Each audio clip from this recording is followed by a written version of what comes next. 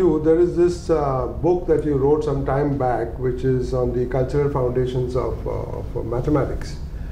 And um, the one of the major themes in the book is the idea of the transmission of the calculus from, from India to, to Europe and uh, how the Europeans didn't really understand what they were getting and they made a lot of mistakes in trying to grapple with it, including Newton. And you also yes. make the rather, uh, rather, rather strong claim that even Newton's work could not have been, um, you know, done without having some idea of the calculus that had been imported from India.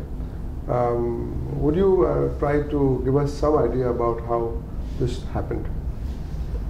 Yeah, I think uh, there are um, two parts of the story. The first part is uh, how the calculus went from India to Europe, and the second part is how it was understood or misunderstood there, or how it was transformed there.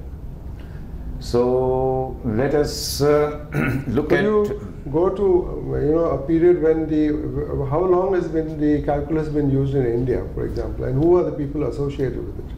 Oh, it took about a thousand years, and that is something I would like to uh, point out because um, things don't just develop overnight.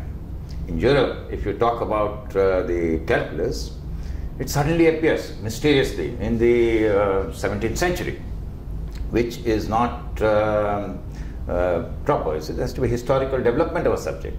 In India, it starts with Aryabhat. Starts with Aryabhat in the 5th century and Aryabhat makes a very novel innovation.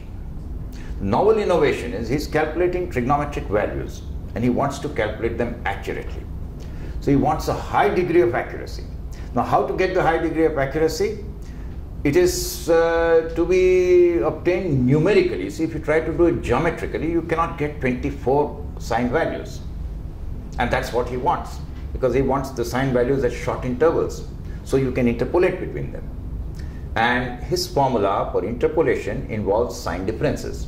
So that's the beginning of the calculus. He uses, uh, he numerically solves the differential equation in order to obtain those 24 sine values. Cannot be obtained geometrically.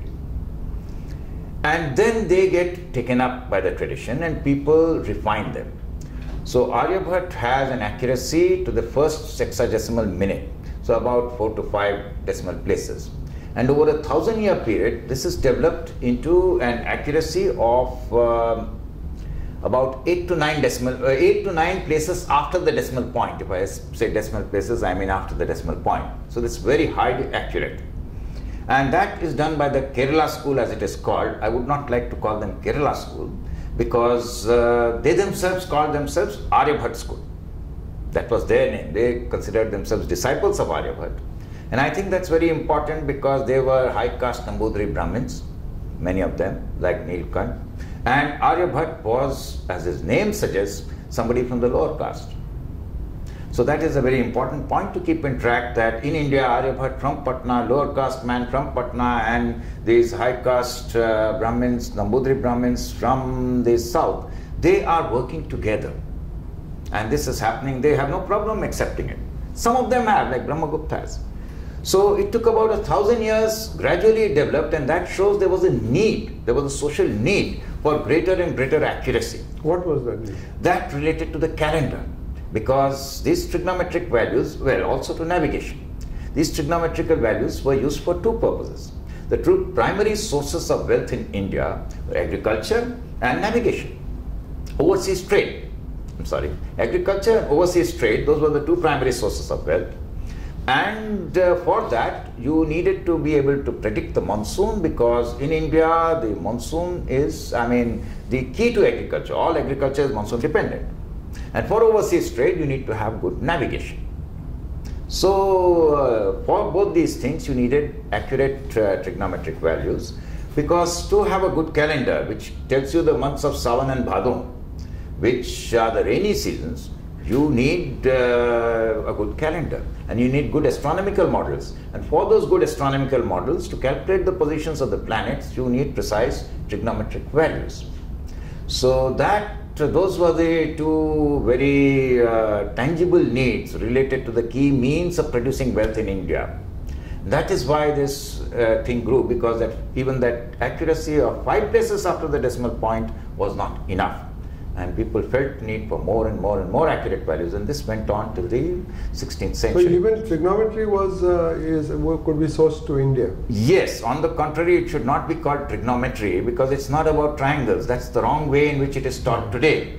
If you see the texts in India, it is all about uh, the uh, circle. It starts with the circle, and uh, the uh, it is about measuring the circle so supposing, I mean, you cannot, it's not really about measuring a triangle, all right?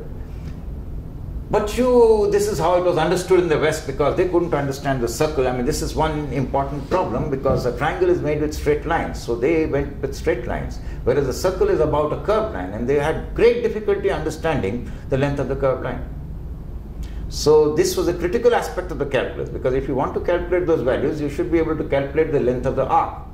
For example, the, uh, if you have the entire circumference of the circle, its relation to the diameter is the number which is today denoted by pi. And so it is about uh, this. And if you want those trigonometric values as they are called, I'm calling them trigonometric values, they call them sine and cosine. So it's about the chord and the uh, circumference or the arc, chord and the arc. That's the that's what it is about. How old was Aryabhat when he did his work? Oh, he was uh, very, very young, 21 years old.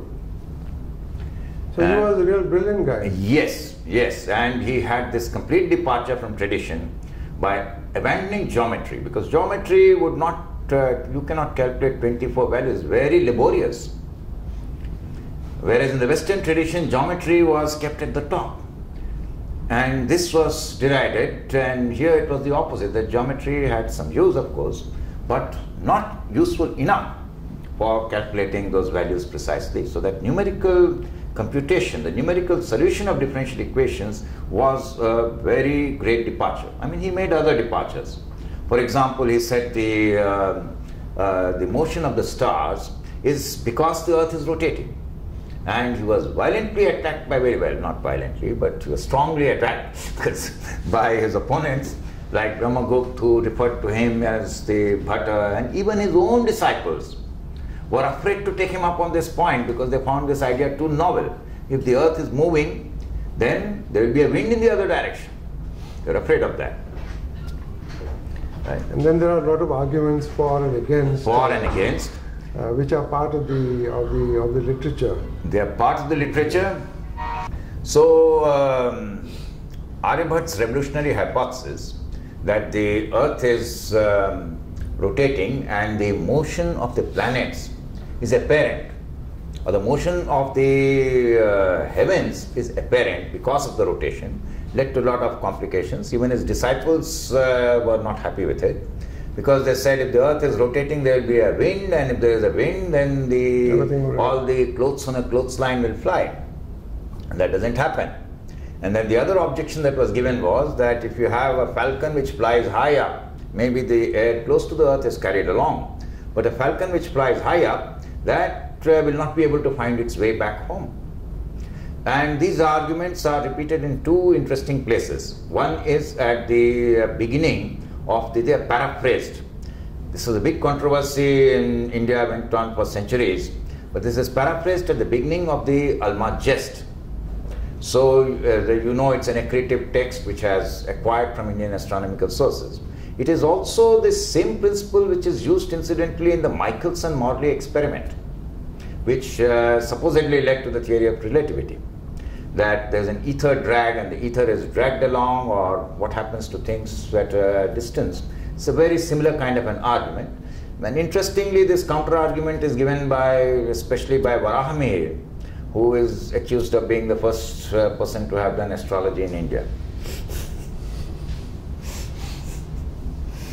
So what you are what you are implying and saying is that there was already a tradition of uh, this type of intellectual activity in India. It was very far advanced, but it was advanced because it was in relation to a specific need. Absolutely.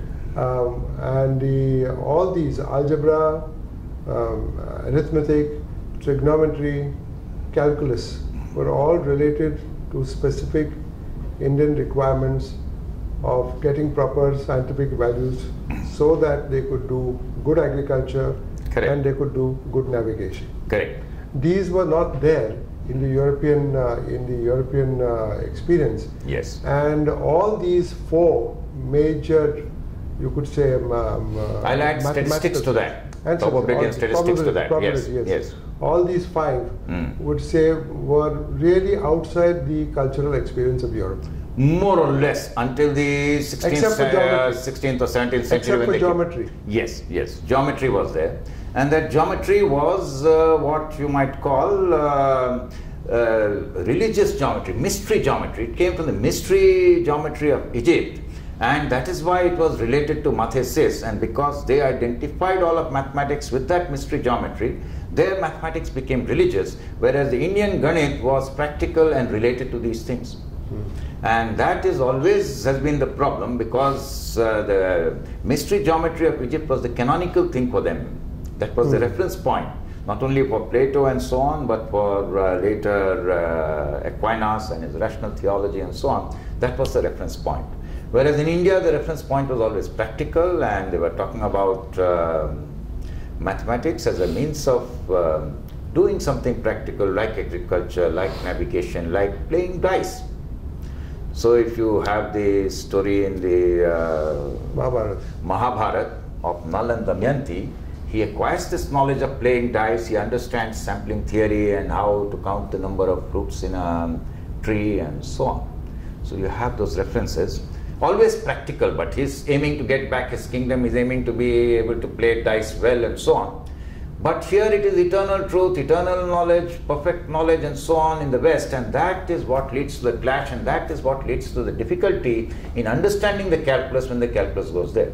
Because they see the practical value all right, but they try to fit it into that tradition of uh, mystery geometry, fit it into the tradition of eternal knowledge, and it doesn't fit, and that is where all the difficulties start.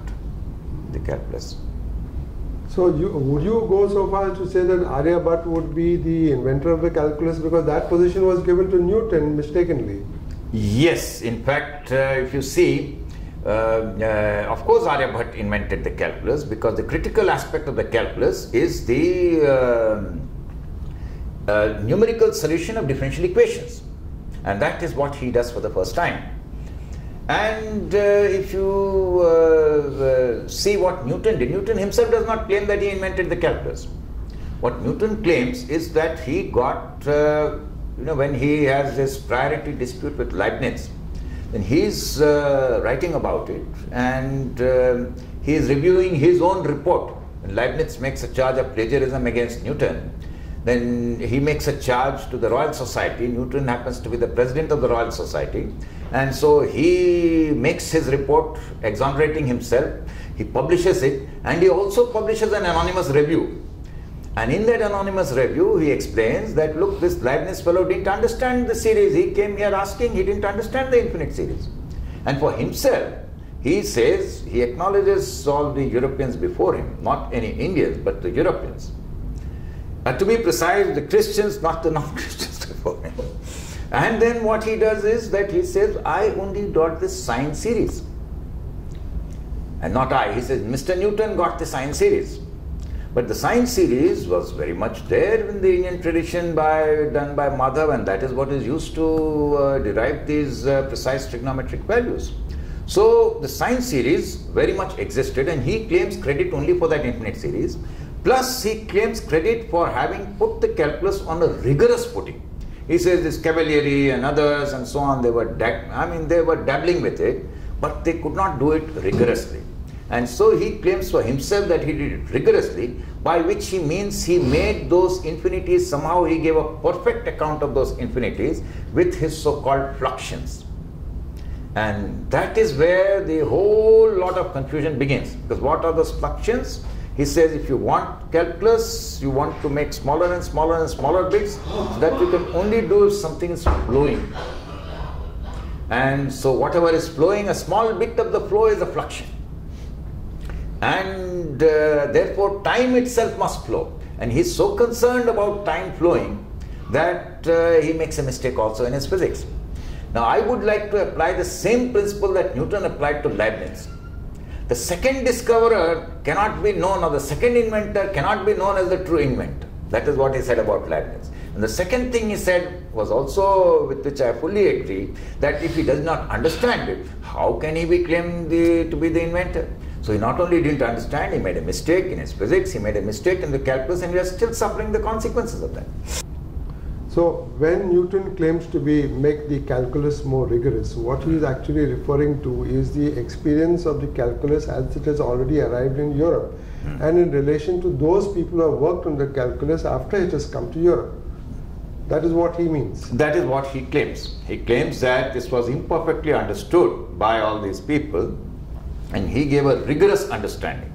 Now, what was that rigorous understanding? That rigorous understanding was only about fluxions. Which turned out to be wrong. Which was wrong, has been abandoned, and not only was wrong, it uh, led to uh, a mistake in his physics, the primary mistake in his physics about the nature of time.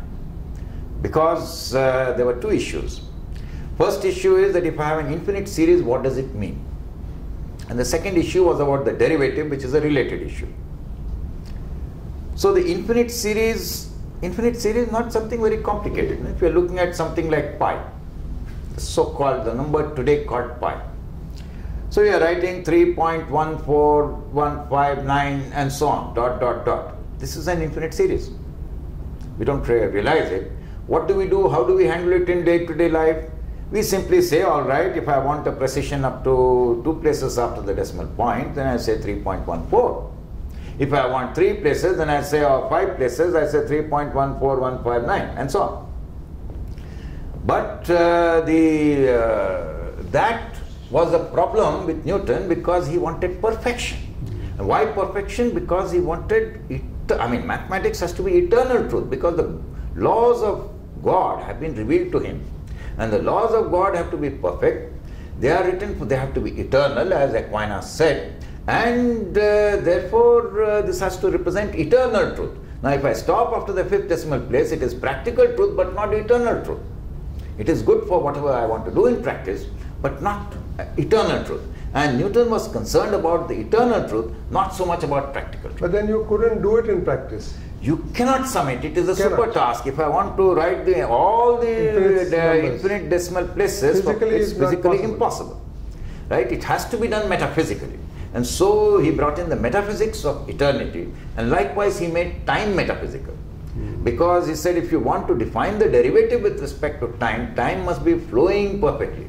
And he says that in his uh, Principia, no, absolute, true, mathematical time flows on without regard to anything external. Why? Because he wants to make it perfect. If it refers to the external world, it will be imperfect. And he says anything, any natural clock will be imperfect. No problem. God has this clock, and that clock is perfect.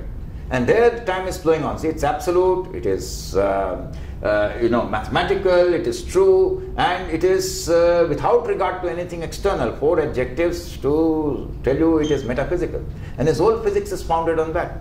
That's at the beginning of his Principia. And that's where it fails. And that is because he's trying to make the calculus perfect, he's trying to make it rigorous. It has arrived there, and of course, its uh, non-Christian origins are not acknowledged, hidden origins not acknowledged, but uh, trying to make it perfect, and that is what the historians will still say. You guys didn't understand.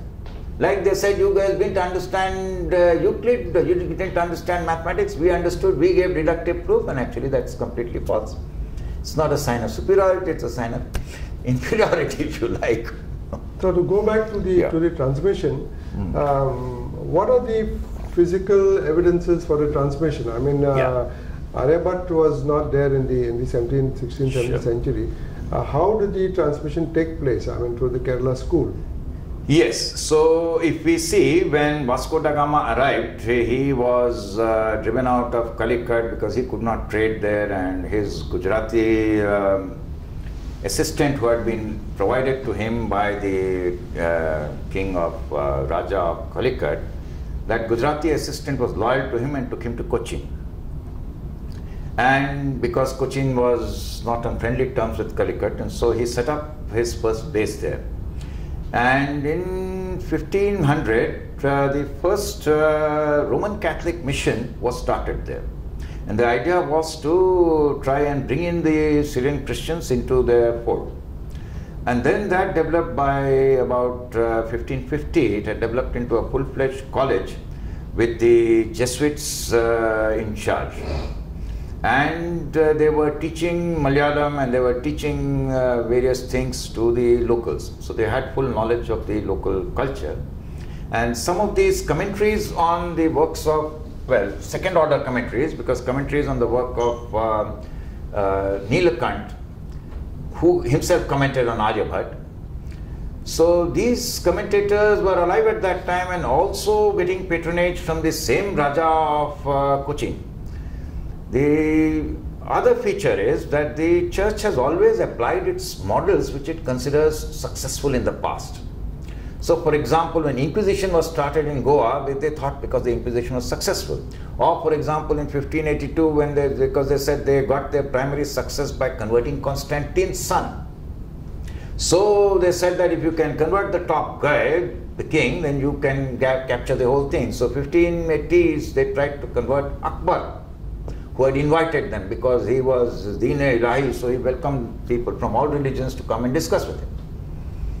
And uh, they announced in Rome, we are going to convert and we are going to capture. So the point is that the church repeated its successful models, and one of its successful models was the Toledo model of uh, translating uh, mass translation from Arabic books. That is what they implemented in Cochin. They mass translated all the texts that they could gather, which they could do because they had the support of the uh, local Syrian Christian community at, up to some point, up to about 1600 they had the full support of that community and they had knowledge of the local language and they were translating and they were hiring people to translate and uh, uh, send off.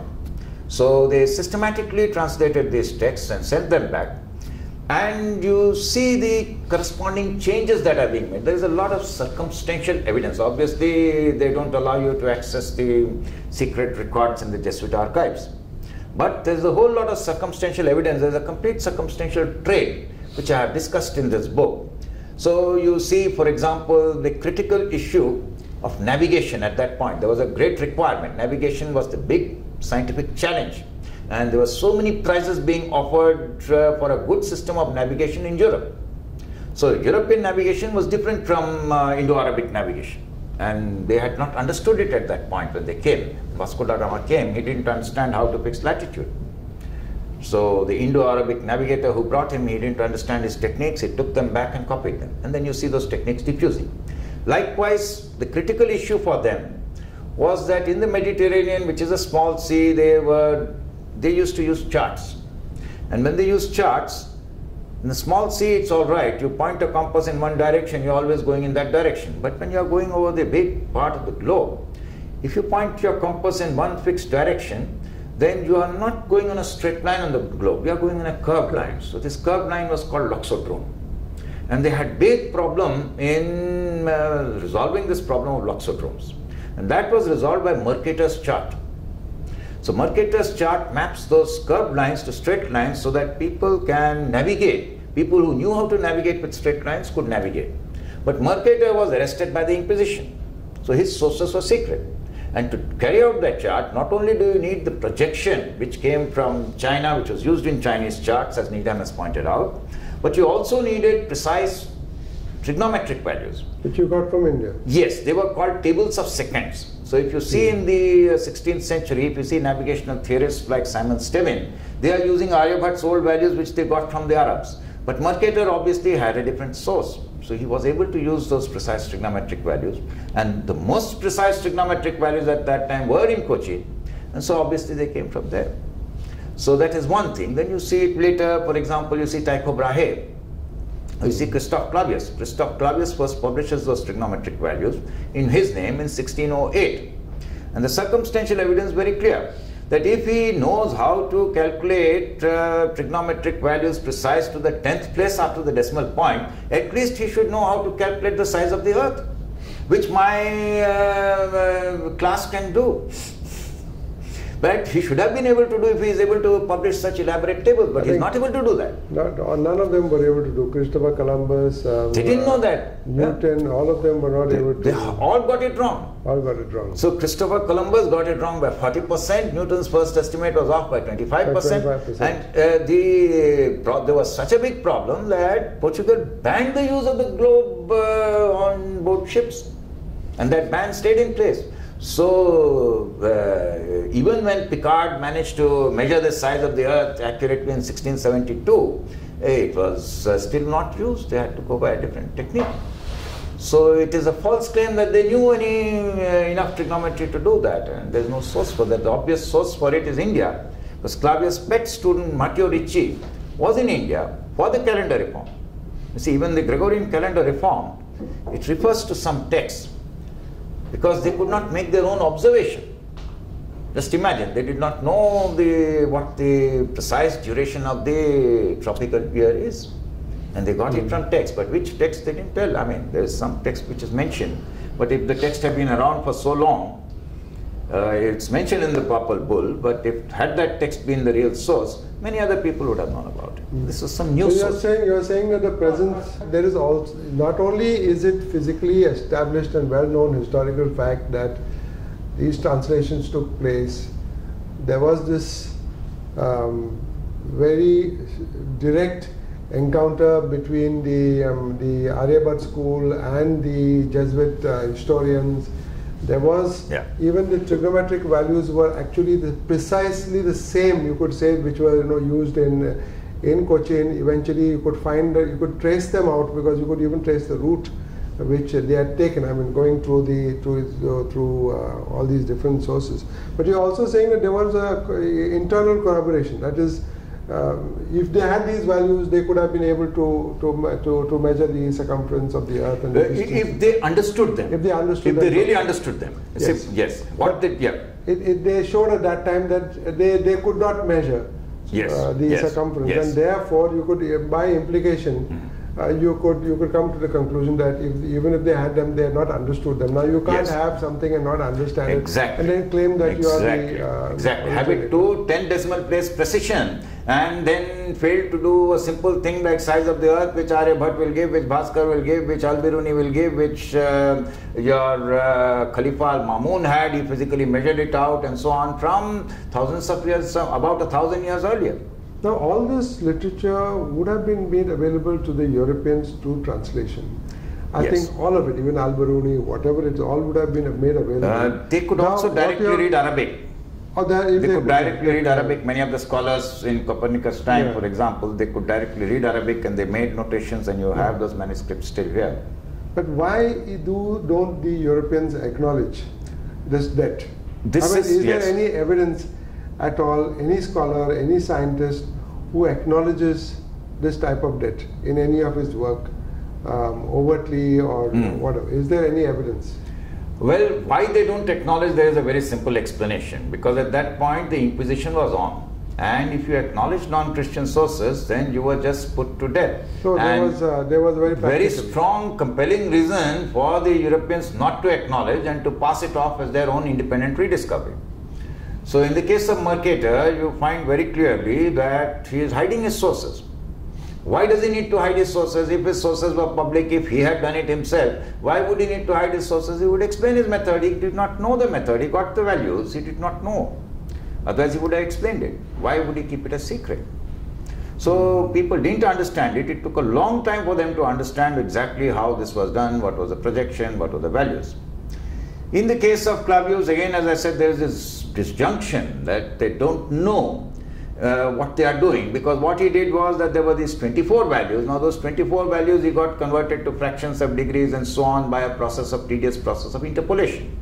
So they understood that process of interpolation, but how were those basic values obtained through infinite series?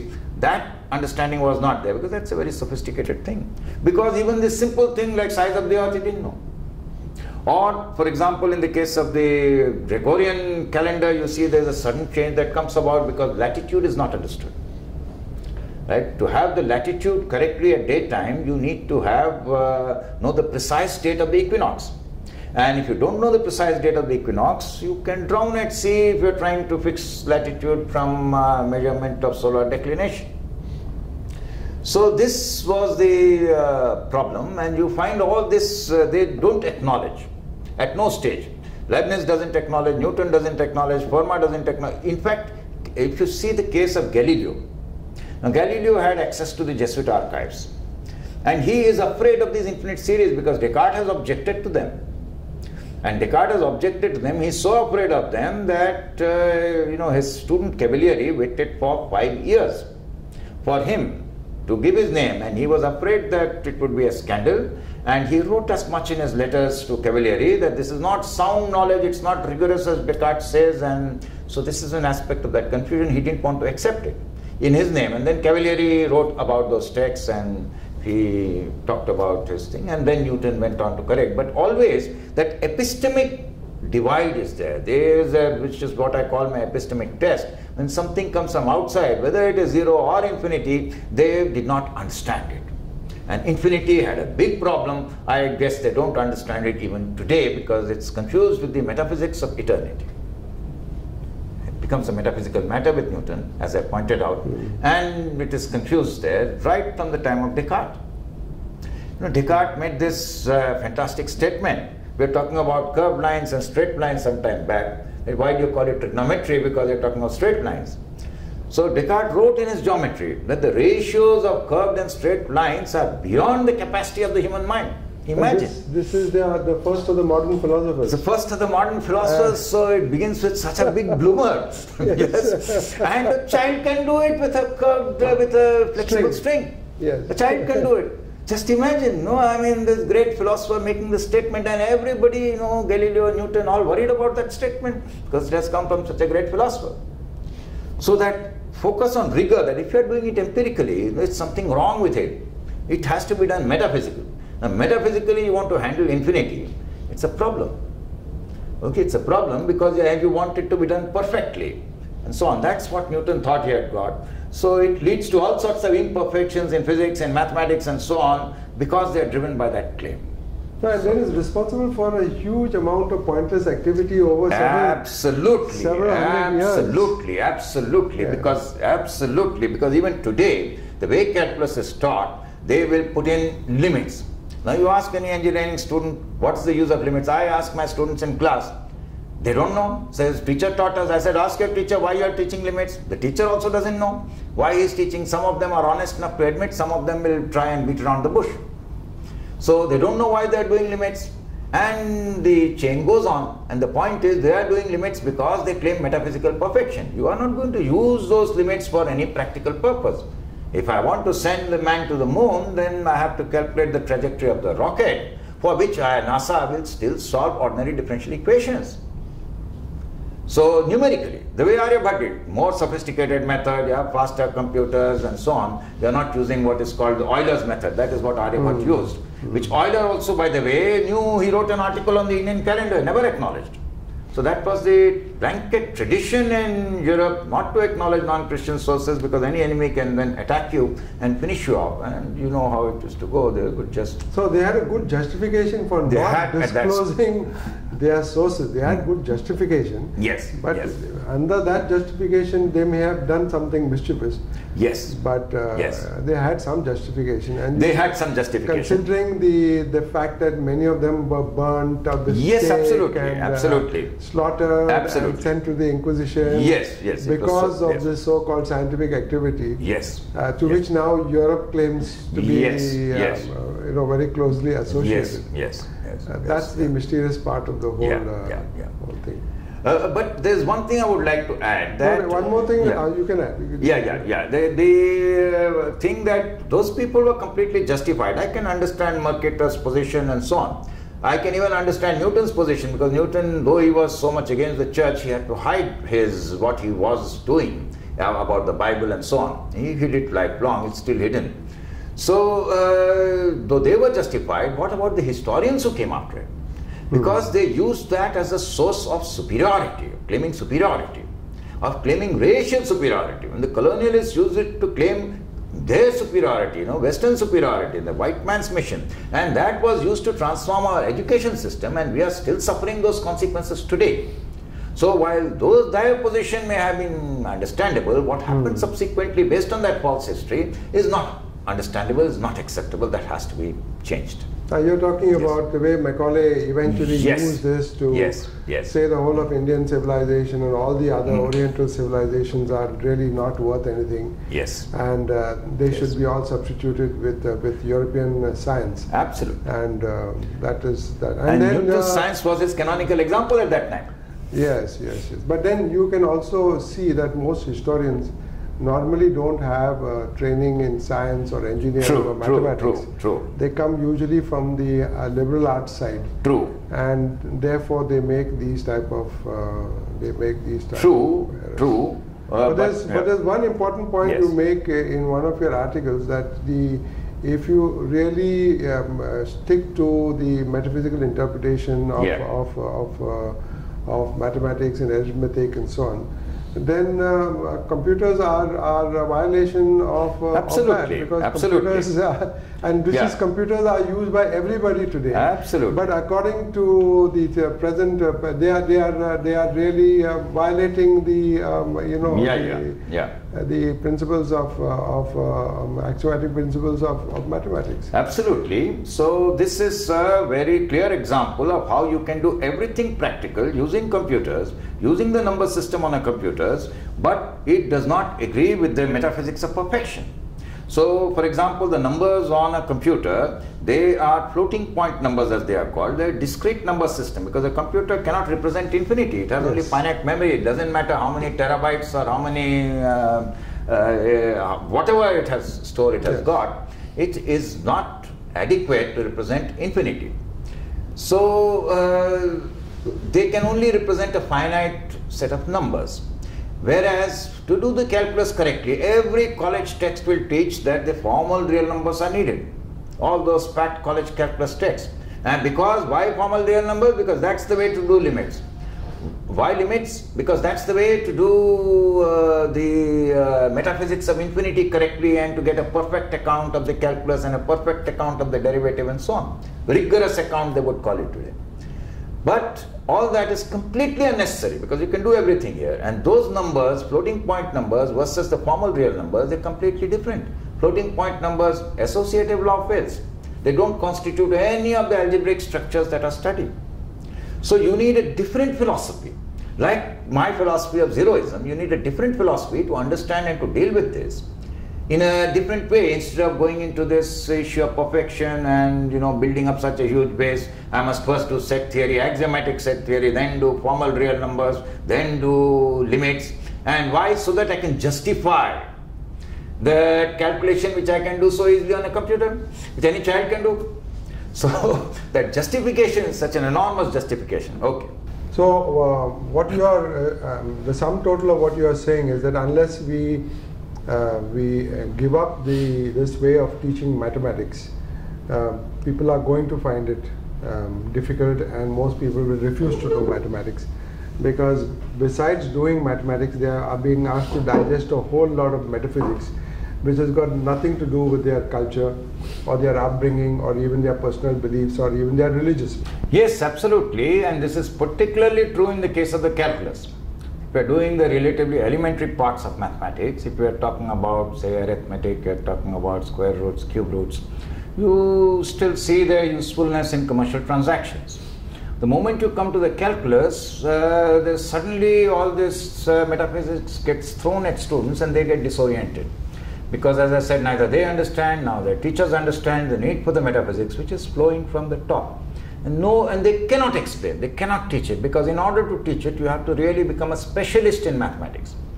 And even specialists like the head of the IIT math department could not define the starting point which is a set. I asked him what is the definition of a set? He says it's a collection of objects. It's an absurd definition and where axiomatic theory why do you need limits if you can define a set like that? So in the most prestigious institutions in India, the most senior people still don't understand the need for this. And they are still teaching it because of imitation. And what we should do instead is that we should teach it the way it historically developed.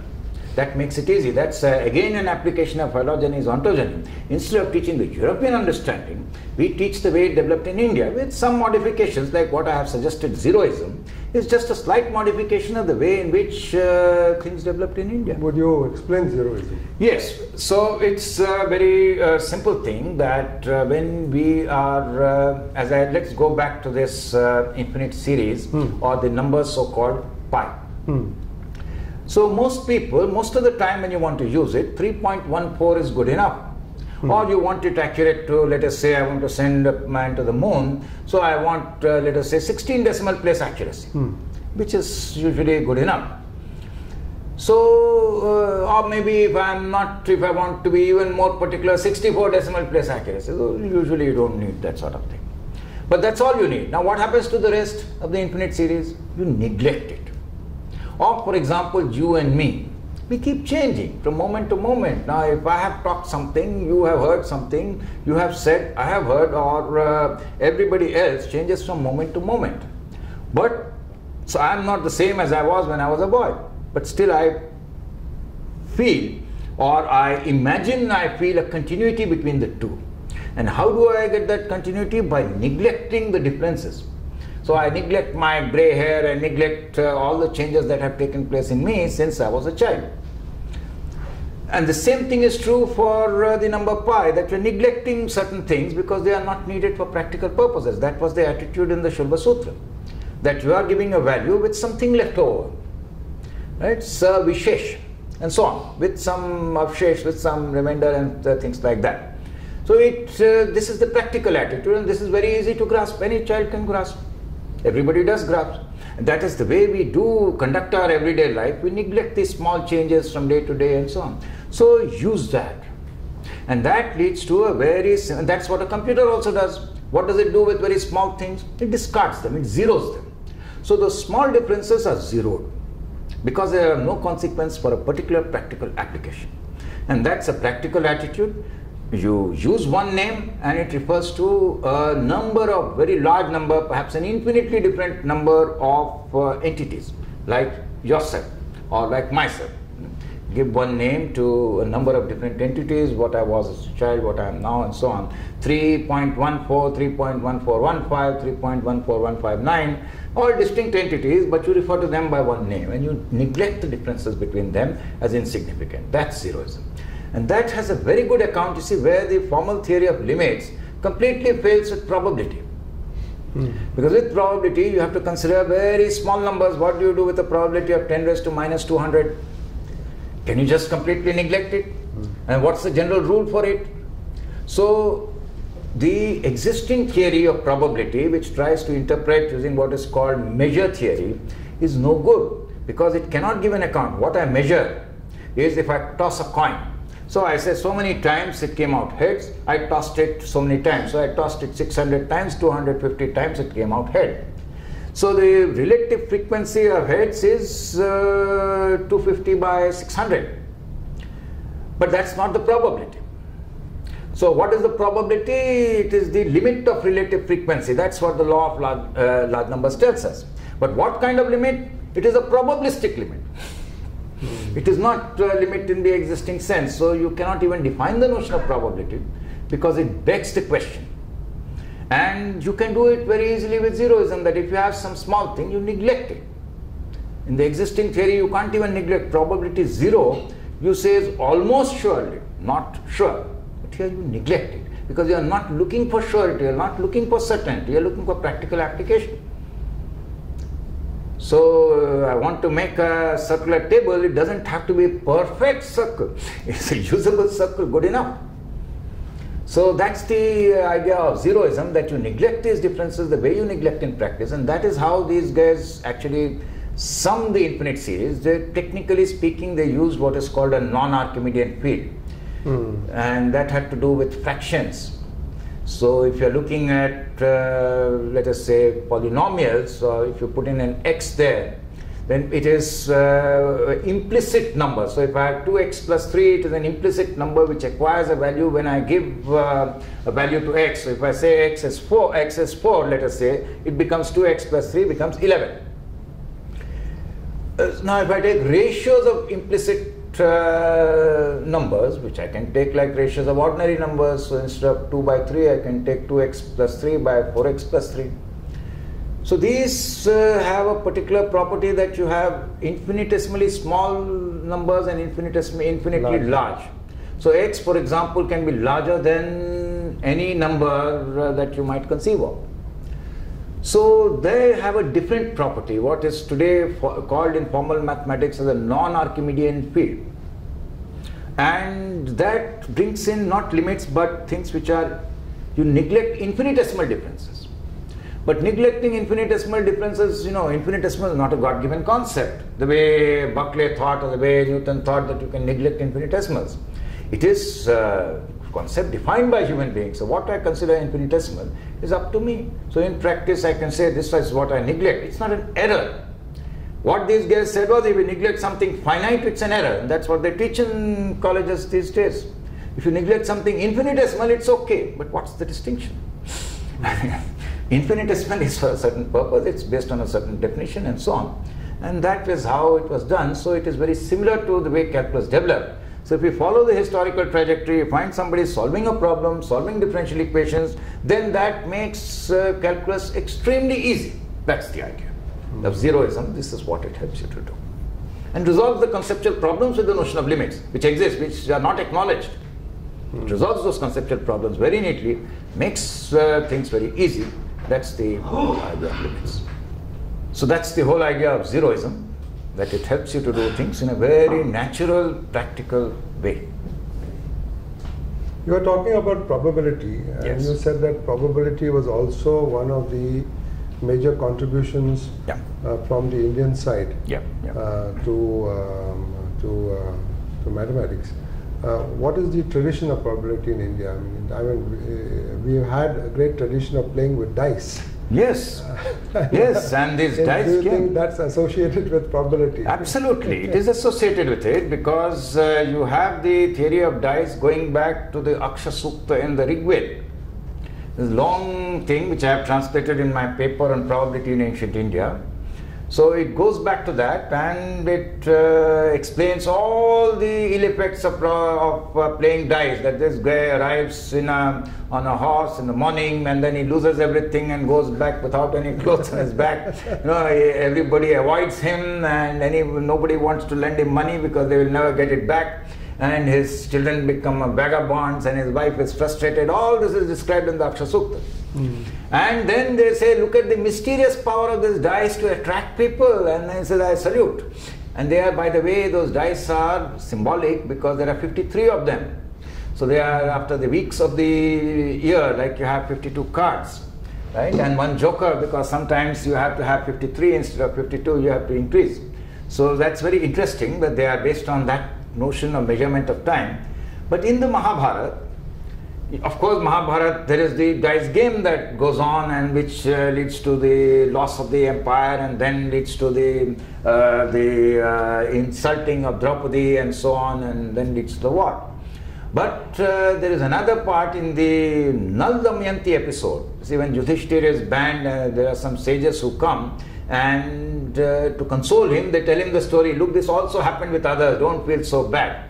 It was much worse with Nal and Damayanti that Nal lost his kingdom because of dice. And then he is cast out in the forest, he loses his clothes also, and he has to take half the sari of Damayanti and go. And he abandons her in the forest, know. And then he is advised to go and learn the game of dice from the uh, king of Ayodhya, Rituparna. So he goes there and he learns. And how does he learn? Damayanti, it's a very nice, interesting story. So Damayanti has uh, given up hope practically, but she hears that there is somebody who looks like Nal, not looks like him, seems to be Nal because he looks very different. So she announces her Swayamvar. So she deems him to be dead and she announces a second marriage. So by the way, second marriages, widow marriages were all right at that point of time. So she announces a second marriage, Swayamvar, and then these people rush from Ayodhya to uh, uh, what is that uh, place um, uh, near Nagpur, uh, Vidar, Vidar. So Vidar. So they rush from Ayodhya to Vidar, and uh, Nal, being the expert charioteer, is taking them there. And then they happen to stop under a tree, and the five-faced uh, fruit of that tree was what was used as the uh, dice. And this guy, Rituparna, who's the king, he shows off his knowledge of mathematics. The number of uh, fruits in that tree is, I think, 3092 or 3192, something like that. So this guy Nal says, How do you know?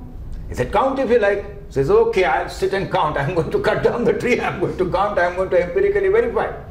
And the guy says, Well, if you start empirically verifying, we'll be late uh, for the Swayamvar. So Nal says, Okay, you go if you like. I'll sit and count. He says, I cannot reach without you. I cannot reach in time. So then he exchanges the knowledge. So it's secretive Right. knowledge. But this has this practical value of being able to calculate. So sampling theory is what it is associated with.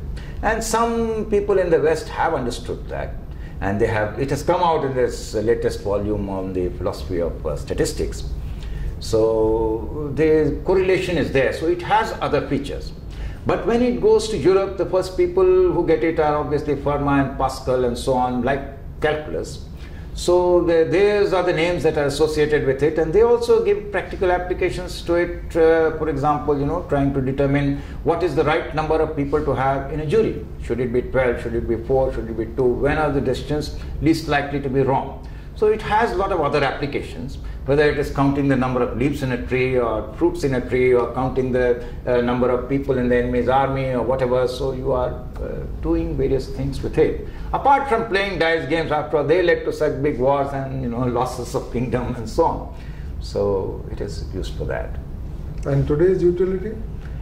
Today's utilities for a lot of things. For example, your life insurance, measurement of risk. You design some technology. Now, what's the chance that the technology will blow up? Now, you have a nuclear reactor sitting in uh, Mumbai, and supposing it blows up, what happens to all the citizens of Mumbai? So, what's the risk of that? Have they been informed of the risk and so on? So, all these issues of risk they relate to probability basically. Stock markets, for example, would relate to probability. I'm not, not suggesting that you should go and gamble in the stock market, but even if you don't gamble, you can have ways of, uh, you know, if somebody is doing something wrong, you can have systematic ways of arbitrage by doing that. So there are various uh, things which are associated uh, with probability. For example, in physics, you have statistical mechanics. So you're talking about the properties of the air, you're talking about temperature, you're talking about pressure, and so on. These are not properties of individual molecules. They are properties of a collection of molecules. So in statistical physics, it is used. In so many places, it is used. The concept of probability. Now, what was the experience of probability in Europe? It Was started with yes, it started with dice games and so on, and then it got uh, see the whole idea of statistics.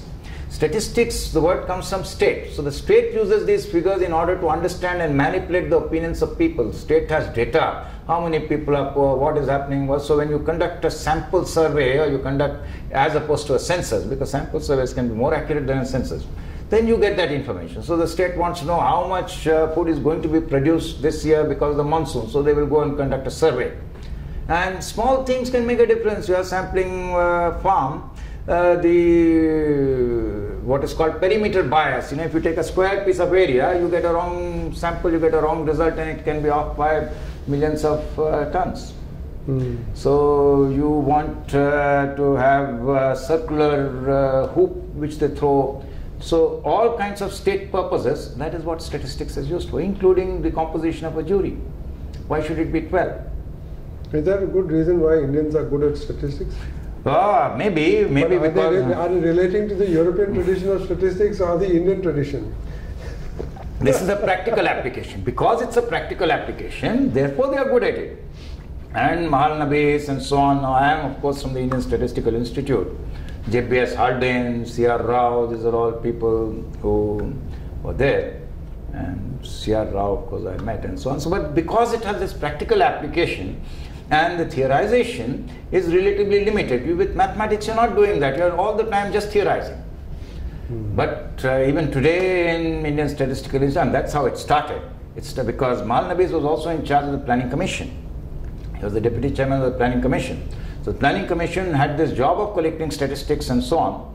And so the uh, Indian, uh, the National Sample Survey Organization also was at one time related to that and so on. So because the practical applications are very direct all the time, so I think that does make a difference, psychological difference, because uh, many Indians find it hard to adjust to the metaphysics, and especially the students, especially the engineering college students, poor chaps, they don't know why they are doing it, and they are forced to do it, and their teachers also don't know. So they don't see what the practical application is. Whenever I talk to these engineering college students, I ask them, and they don't know. Simple things. Those IIT students, you ask them, they don't know. You know, when you ask them about calculus, uh, what is the derivative of e raised to x? Everybody knows. What is e raised to x? Oh, maybe one hand goes up. Infinite series. What is that infinite series? They don't know. But this is not the situation only in India. This is a situation if you go to Iran, if you go to Malaysia. Yes. I mean, yes. everybody- All colonized countries. All colonized yes, countries yes, yes. and uncolonized countries also. All. I'm quite sure, like countries like Korea and so on, which did not go through any colonial period, would also be teaching the same mathematics Yes. in the in the in Yes. the in the schools, and um, Yes. and you can you can understand what is the expa- you know the extent of the misery that is being caused to Absolutely. youngsters all over by mixing Absolutely. up uh, you know mathematical competence with this type of medic- metaphysical mathematics, mathematics Yes. which has you know uh, maybe of some use to as we said formal mathematicians Mm-hmm. but of no other real practical use to No, uh, it is. to people It, it is not even of use to formal mathematics. You see, No, when it Plato said something. It is of some use. It keeps them employed. keep They them employed, of course. Yes, salary. yes, yes, of course, of course, of course, of some personal use, of some direct personal use, Yes. because they are controlling people. But all I wanted to say was that sometimes they talk of beauty. Now that Beauty. beauty is an aesthetic experience, it's a spiritual experience. That's what Plato talked about. Now that may have been there in that simple kind of mathematics. But the mess that formal mathematicians have, they create today, it is very ugly. I mean, where is this beauty? It's just a matter of saying, I think it is beautiful, so I can assert my authority. So it's a way of asserting the authority and divorcing it from practical applications. He wants a cut. So you have been trying to um, experiment uh, nowadays with uh, with uh, this uh, teaching of uh, calculus uh, without limits, and uh, how successful have you been? Well, it's extremely successful because uh, you're doing it the natural way it developed. So Aryabhat had a certain problem, and what is the kind of uh, level of arithmetic he's using? Rule of three, which you learn in primary school. Right? At least I learned it in primary school, I assume everybody else does. So that's all that is needed for linear interpolation, that's all that is needed for the solution of the differential equation, and that's all that is needed for all sorts of advanced applications. Because if you look at uh, Newtonian physics, it is all about solution of ordinary differential equations. Every problem of Newtonian physics is reduced to a problem of solving differential equations. So you can uh, apply this to very tough problems which are not normally taught because it becomes so easy. Now my experience was very good. I tried it in so many places. I tried it first of all in the Central University of Tibetan Studies. Then I tried it in University of Science Malaysia with four groups, non-mathematicians, uh, then um, pure mathematical, pure mathematics students, applied mathematics students, postgraduate students. Then I tried it in the Ambedkar University, Delhi. I tried it in Iran. So in all these places, the response was very good. So if you look at Ambedkar University social scientists, they're very happy because they feel miserable. They feel that as social scientists, they have not done mathematics. Some uh, aspect of knowledge is being held from them. They can't really understand that kind of advanced uh, mathematics which is used in some parts of economics. Some people use, still use. So they feel cut off. Even Dandekar, you know, the eminent economist, he used to worry what is this thing that von Neumann is doing, he used to ask me what is this ergodic theory, what does it mean in economic terms, and spend hours trying to understand this. Hours, days, months. So, you're talking about the import of formal mathematics into social science. into social sciences. So the social scientists particularly are those who are not uh, who don't do mathematics. Yes. Engineering people feel little more confident. Physics people feel little more confident. Hmm. But even there they have a problem. But that's more technical. For social science is very easy to understand. So they don't understand the basic concept of probability. You tell them what's a normal distribution. They don't know what's an exponential function. They don't know. So they have a problem, they feel cut off, and they are very happy with this approach. Hmm. Extremely happy. I mean, that happiness is a real pleasure, you know, when you are able to teach somebody something and they are able to do something advanced. That is, so I think it was very successful. I also tried it with my children who did tough problems in school, like the exact motion of the simple pendulum or the brachistochrone with resistance and so on. So I think that. Um, or even measuring the circumference of the earth. Which the students here tried, but that doesn't really involve, it involves calculus in the trigonometric values that are required for it. Mm. It involves that. But I'm not sure, I mean, that was not part of the calculus. That was not limit. part of the calculus. That was not part of, but it's one of the applications that you have precise trigonometric values. With those, you can stand in a spot in Penang and you can measure the size of the earth just by looking at the setting sun or the hmm. rising sun. Stand at an elevated spot and you have somebody and you can do that, which Clavius could not do. Hmm. Okay, so he did not understand. So these experiments have been very successful. The problem is now you have a religious bias in mathematics religious bias because formal mathematics denies the empirical because it says one type of logic is uh, universal when it is not, when it is uh, actually uh, uh, uh it is culturally restricted. Then the postulates, so for example, we talked of continuum, which is what is used for the calculus today versus the floating point numbers, which is what is used for uh, actually doing calculations on a computer. So the postulates are biased, the logic is biased, uh, the whole basic underlying philosophy is biased, and people still want to imitate, blindly imitate, because this is the only thing that Western education has taught them. Don't trust your own knowledge, trust Western authority. That's the one thing it has taught them, so they've become complete slaves, mental slaves. This leads to practical advantage. They are not willing to see, they're not willing to consider, they're not willing to debate, they want to stuff it down, they think that if they stuff it down, it will go away. It won't. it's going to be around and it's going to come back. But those experts, those formal mathematicians who are comprador elements, who are selling out a whole nation of say 1.2 billion people to the West for their personal benefit.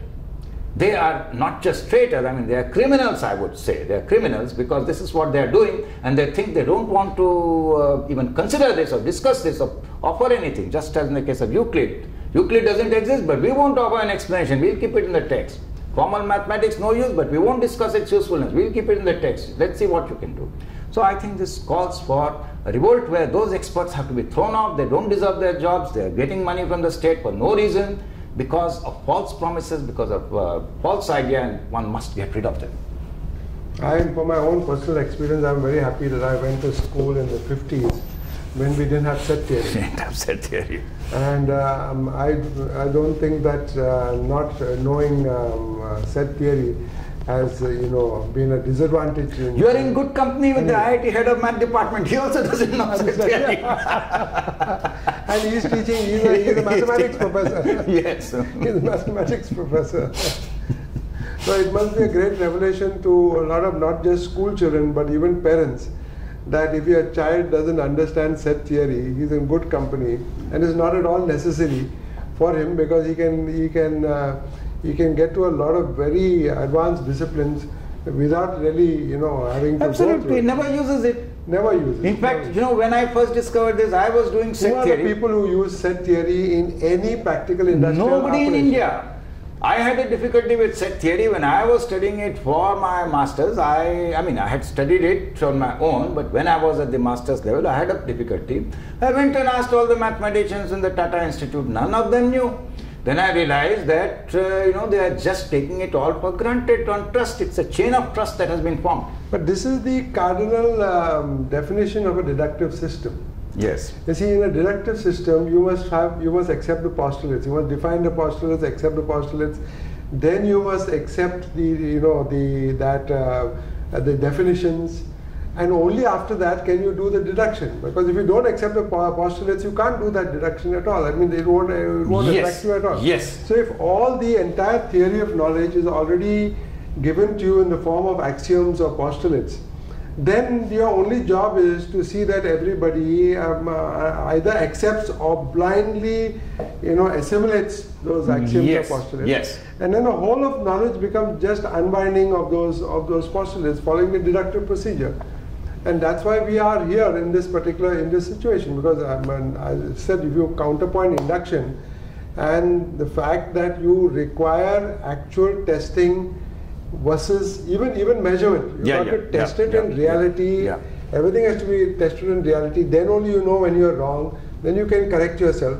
But if you have got no known measure of uh, of correcting yourself, because this is all very formal, then you can't proceed. Know, absolutely right. And in fact, the deductive system has a hidden agenda.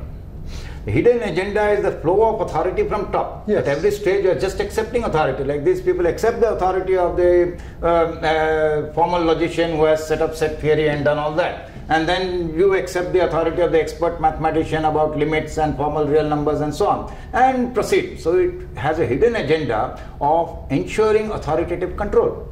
In principle, in formal mathematics, you could use any postulates you like. So I could do a non-Archimedean field, I could study floating point numbers, but none of the students do that. They must do the postulates which are laid down by Western mathematicians.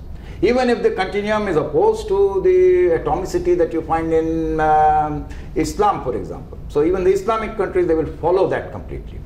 So this is one issue with formal mathematics of deductive systems that it ensures a flow of authority from the top because it's all metaphysics you can't do an experiment with it. Now the other part of it why you need to do the experiment? Because this metaphysics of infinity which is claimed to be perfect. It doesn't work we saw for probability theory. It doesn't also work in physics. So you have what is called the renormalization problem of quantum field theory where they try to do these things and it doesn't work and you have, uh, you know, where, let me give a simple example. If a firecracker bursts, if a firecracker bursts, then you have a blast of air coming from there. So there is some point at which the air is disturbed, undisturbed, and then suddenly it gets disturbed. So at that boundary, which is called a shock wave, behind that you have a very high pressure, and in front of that you have the undisturbed air. So there's sudden or discontinuous change. Now this when you describe physics, when you describe the physics of air, you want to have derivatives. You cannot differentiate a discontinuous function. So this is uh, clear because if you if you differentiate, you run into an infinity. And you have a method of trying to handle it by what is called Schwartz theory. I mean, I used to teach. I used to teach in my analysis class that you cannot differentiate. I used to prove a mathematical theorem. A di discontinuous function cannot be differentiated. And then I had a more advanced class on functional analysis where I used to prove that a function with a simple discontinuity can be differentiated infinitely many times. so much for theorem proving in mathematics. so you prove one theorem, you prove the exact opposite theorem, declare both are universal truths. But the beauty is neither of them will work for your shock wave. both of them fail. So I was talking in Palestine and I asked what definition should I use for physics and there was this girl who was a PhD in functional analysis and she says use whatever you like. But you can't use whatever you like. But if you were to use whatever you like in physics there is a problem even if you were able to use. Because you must have empirical verification. Why are we doing that mathematics? Because it enables us to do physics. So you must have empirical verification. And how do you empirically verify your conclusions about infinity? Well, they lead to some finite conclusions. How are you handling them? So that has been discussed in the appendix of this book, shock waves, renormalization problem of quantum field theory and so on. So at every stage you find probability theory, you are coming back to the empirical if you want any practical use. And the moment you have come back to that, now all this metaphysics of infinity is of no use except to maintain that chain of control, to maintain that chain of authority so that everybody everywhere, whether in a colonized or semi-colonized or non-colonized country is mentally all the same colonized. So colonization is not about physical occupation, it's about mental occupation. So even those countries which were not physically occupied, they have been mentally occupied. And they are still doing exactly the same mathematics without asking why, without daring to ask why, without being allowed to ask why any more than a student in a class is allowed to ask, why are you doing this? No, you have to do it. If you have no reason for doing limits, should you do it? No, you have to do it. We can't give a reason, but you have to do it. That's the chain of authority which is maintained. Few people, few formal mathematicians, over a billion people. That's the soft power that is coming out of it, and that's why it's promoted by the West. But we are doing it, we should break that soft power. Inscrutability is also a source of power. Absolutely. And the reason when you talked about social scientists and all feeling deficient, uh, I know a lot of economists who cannot use equations. They feel deficient in relation to those e- economists who can use um, equations. And um, uh, people in today's world of education feel that if they cannot understand something, then they are either inferior or they are mentally deficient. So what better system than you know uh, the formal mathematical system, where a small group, it's not Yes. a very good group, it's a very small group of Yes. you know persons who work in the field of formal mathematics. Only they understand that language, they understand the postulates, the assumptions and so on.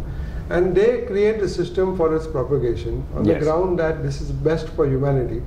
And then the rest of humanity then is forced to uh, get themselves assimilated into the system, even if they don't understand it. Because Absolutely. everybody knows that in all the schools and colleges of the world, most of these things now are, are learned by memory. They are not even learned by understanding. They Yes. are learned by memory, and uh, eventually, um, um, by doing that, they end up in positions of power where they do not understand what they have learned. They are not able to implement what they have learned, and then they have to go back to the so-called experts uh, for their advice and so on. But even the so-called experts themselves with their theory of, of mathematics are not able to resolve much, many of the paradoxes that have come. And why did set theory come?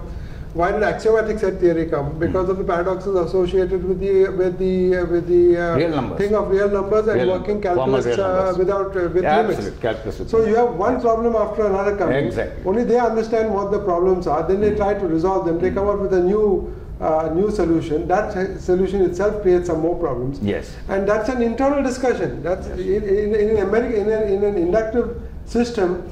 That, that is open to everybody because everybody can see, everybody can sense, everybody Yes. can feel, everybody can. These are the ways in which you Absolutely. can refute knowledge. Absolutely. So um, that's the source of their power, and, and, um, uh, and it's only in the sphere of, uh, of, of mathematics because mathematics is associated with science. Yes. Philosophy today is not associated with science. Right. All those who do philosophy, they are in the arts department. Absolutely. And they're driven out from the science. Yes, department. but mathematics is put in the pure sciences together with that, so they are part of that same club of authority. Yes. And that's how they have remained. And even, Yes. even in that club, they appear to be very refined. They are above the physicists and they are above, and, Absolutely. and, and they are very close to God. Yes. I know I was in that position. So how did you feel? How did you feel when you were in that in that? Yes, in I that, used to uh, feel that uh, everybody else is inferior and most people used to accept that. So it becomes a source of power. The physicist does not know how to do things rigorously, only the mathematician does it. In fact, I started with physics and I took up mathematics because I wanted to learn, because I sensed that uh, inferiority and therefore I took up mathematics. But then you have also shown that ma- Albert Einstein himself did not understand mathematics. He didn't understand. He didn't understand. and then you had yes. to correct. You had to correct. Uh, Absolutely. The, And- his one of his equations in the special theory, theory of relativity. No, no. The basic understanding of the special theory of relativity, which arose from you know Newton's mistake about time, led to the theory of relativity, and it leads to a different class of equations from the ordinary differential equations of Newtonian physics. And Einstein didn't understand that. He didn't understand that. He made a mathematical mistake there. He approximated those functional differential equations or delay differential equations by ordinary differential equations, which is a mathematical error. And that went on for about a century.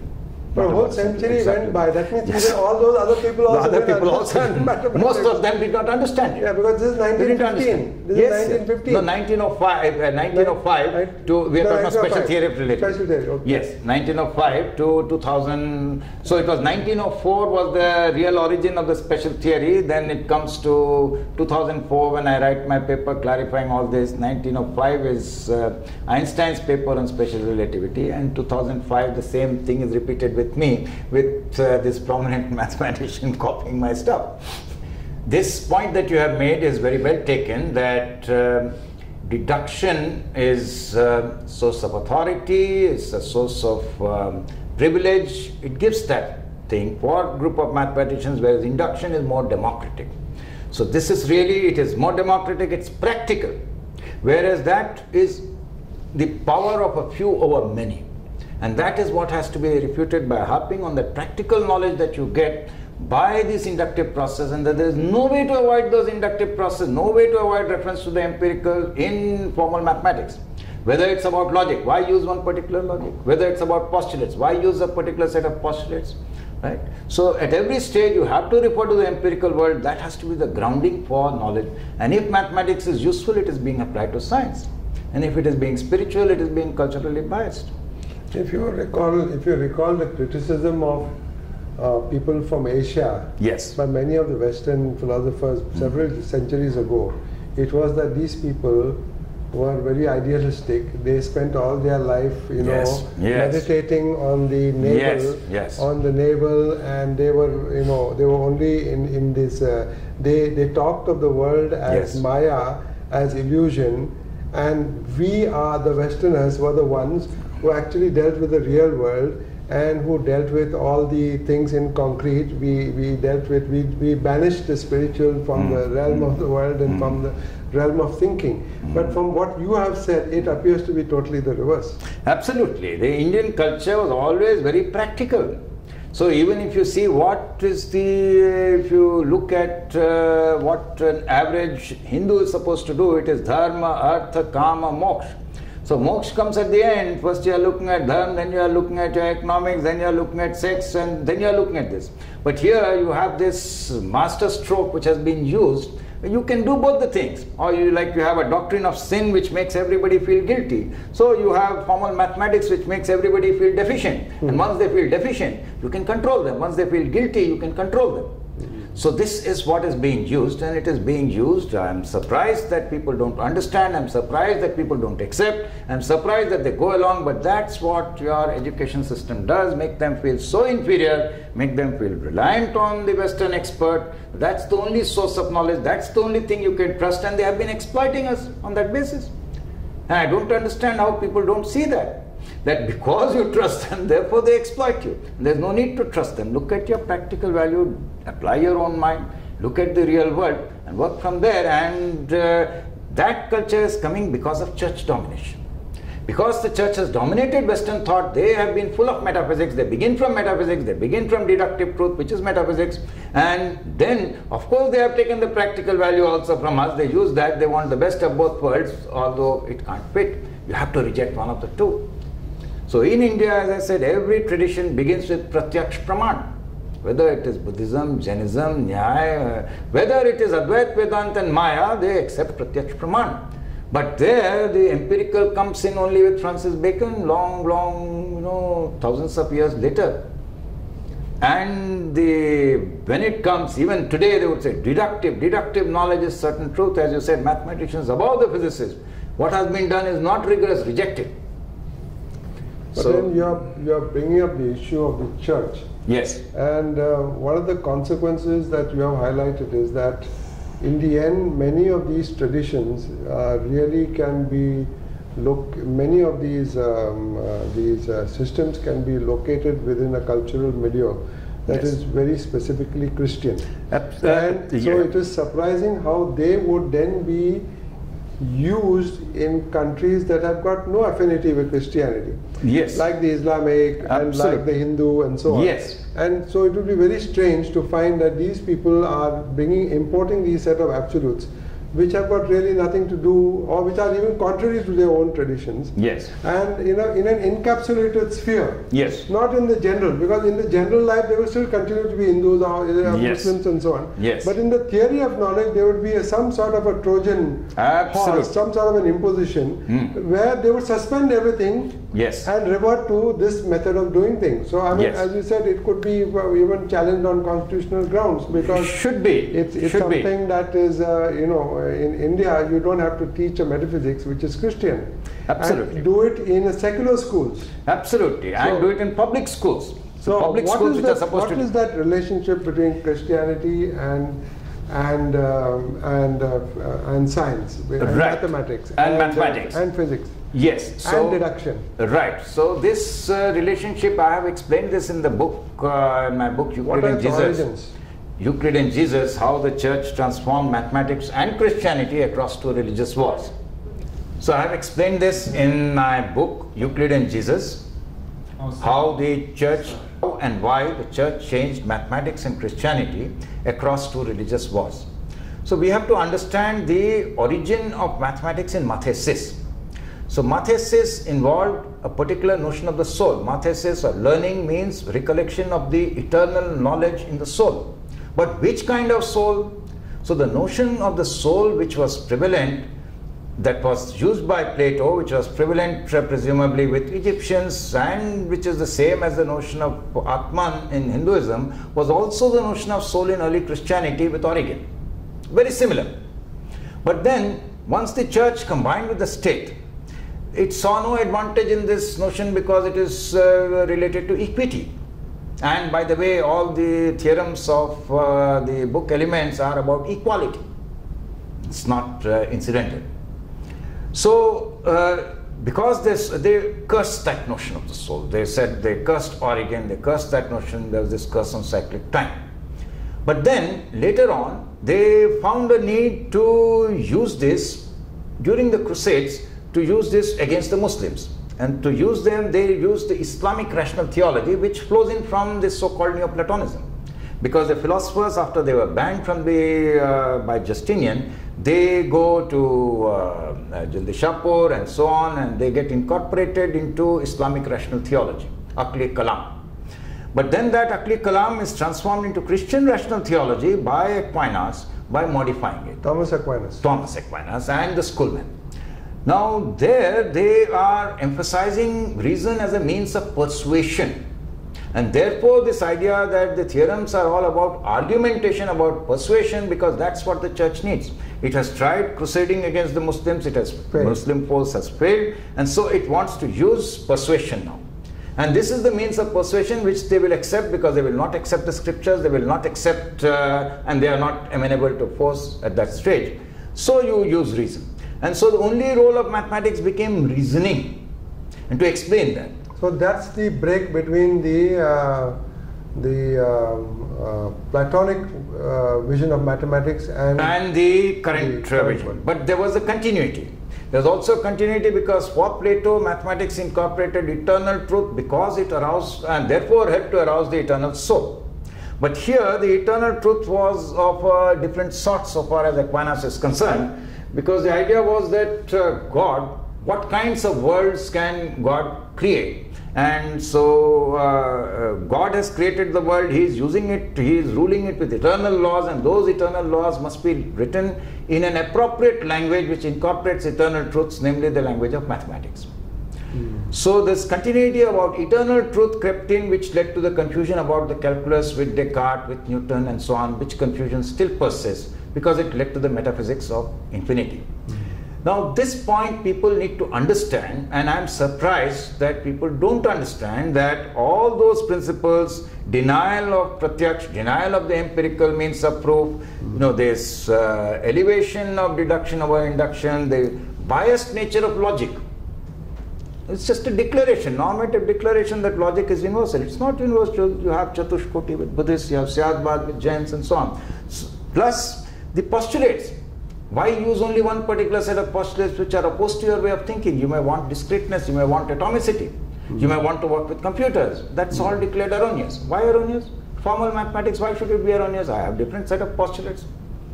So even within formal mathematics, there is no need to declare it erroneous, but it is declared erroneous on this idea of metaphysics, which leads to imposition of authority. Exactly like the doctrine of sin makes people uh, were guilty, and therefore they come back to the expert who is the priest, and therefore likewise here it makes people feel inadequate, and they come back to the expert who is a formal mathematician. And they don't say, they get confused between the practical applications, which don't depend upon any of that, and the uh, formal mathematics. So that dominance of the West is what is being asserted through this, that the need to copy them in every way, which is happening. If you want the science and the technology, then you have to do mathematics this way. It's absolutely false. It's strange that people it's don't very- understand. it's very- unconstitutional. It, it's uh, I have a very good picture of Hmm. Thomas Aquinas, Hmm. um, and you can see the context in which he, he does his work. He was he was an abbot in Yes. a monastery, Yes. and all his life he spent in front of the same desk, and all the thinking was only from the mind. Yes. He had no experience Of outside anything. a monastery. Mm. But the result is that after several years, they found that his paunch, his stomach, had expanded so much that they had to cut a circle in his table in order to accommodate the pawn so that he could continue to work. Now, this is the man who ultimately provides the rational theology Yes. for mankind. I mean, Yes. and which is then you know becomes Yes, part of the becomes part whole of thing. this. But it, it, it, it's, a, it's a very good picture of a person who's totally immobile, who has no interaction with the real world. can't even move this way, that He way. can't move, and ultimately he has, his table has to be accommodated to accommodate, you know, to to. That to is what to, is- to uh, uh, that's the only thing that I remember from uh, from studying Thomas Aquinas and the Summa Theologica, which was in several volumes. Yes, yes. But that is what is being done today, that everything else is being adjusted to fit that metaphysics. Yes, it's it's, Yes. it's not unnatural, considering the origins. Yes, yes, of yes, uh, absolutely, absolutely, absolutely. And uh, it has had that impact, huge impact on Western thought today, so that even those who are opposed to the church, like Nietzsche, like Newton, like Russell, No, no. You look at the even the, the Yes. consequences of this. This is what we call the deductive approach. yes, You look at the education system today, Yes. where, where a child who is born to run and play Absolutely. and do all sorts of things, by the age of now two or three, is Made made, immobile. to immobile and sit like Thomas. Aquinas. Yes. Then he goes to school where he is further made immobile from Absolutely. nursery. Then he goes to college, university where again he has to be further immobile before a library Absolutely. and so on. And that whole stereotype of, of how you learn is all deductive. yes. Because what can you learn if you are in, in sitting in one place in front of a table? Because Absolutely. the real world is outside. That's where you Absolutely, learn absolutely. things.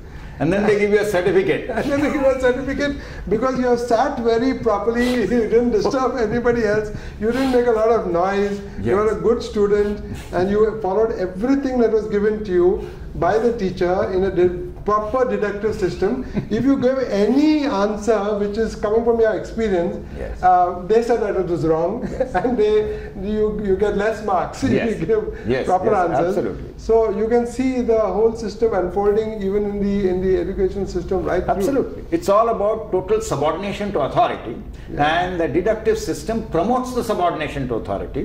And that subordination is taking place that even though we say we have constitutional authority, and this sort of a religiously biased thing should not be taught in public schools, because the philosophy is same as that of yoga. So if people can contest the teaching of yoga uh, in the court, why not contest the teaching of this? Because it's a very similar philosophy uh, very similar religious beliefs underlying it. If those are religious beliefs, these are equally religious beliefs. Anyway, they are bringing in a bias. So that authority is a supra authority over our constitution, over our judges, over everybody else. But you could even see, you could even contrast what you are saying with the fact that Ganit was not religious. Yes, it was not. It was completely practical. It's It's practical. completely practical. You would co- consider it secular, you could consider it whatever, but it was not religious. Yes, it was is- religiously neutral. It was, that's why it could Yes. be, you know, ultimately taken over even by people from other cultures Yes. without suppressing their own cultures. Yeah. It could be, and that is the point that they accepted all the practical applications of it.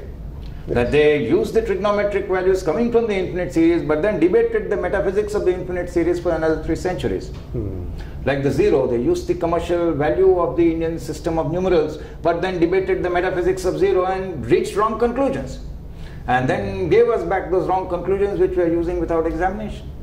So there was a change in the uh, politics of the of the church, the fourth century, Yes. which also altered its approach to many of these issues, particularly issues of infinity, Yes. eternity. Uh, there was the introduction of the whole notion that um, the heaven and earth were there at hand, that the whole of uh, society, civilization had a limited time, that uh, Christ would come back Yes. and the date even uh, was provided for when he would come back, the Yes. resurrection and so on. And um, that had a profound um, impact on many of the things uh, that uh, were considered as you know eternal and infinite and so on. Yeah. So I think um, what would have been the um, the impact of that on it, it shows already in Yeah. the in their approaches to Euclid, in their approaches to Yeah. to Proclus, Yeah. And so on. Yes. But uh, what was its impact on that whole development from the 4th century onwards? That would be very interesting to hear. So I think uh, let us understand about the uh, developments in the 4th century. Now the earlier notion of soul, which is the notion that Plato is using, which is the notion that Origen is using, which is the notion that is used in the Karm Samskar of Hinduism, which was the presumably the notion used in Egyptian mystery geometry. Now, this notion involved a belief in quasi cyclic time.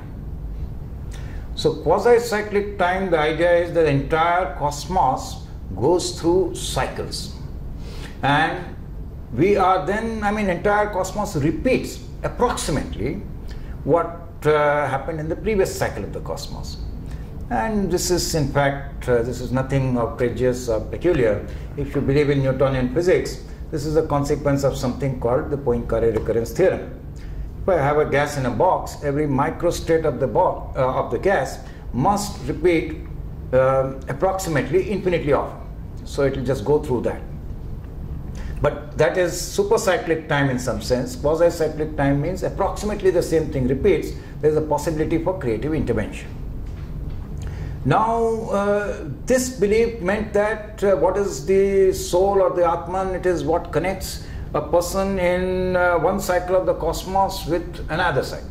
Just as what is it that connects me now with me at a previous instant of time? You think of a sequence of instants of time. They are like uh, you know beads on a necklace.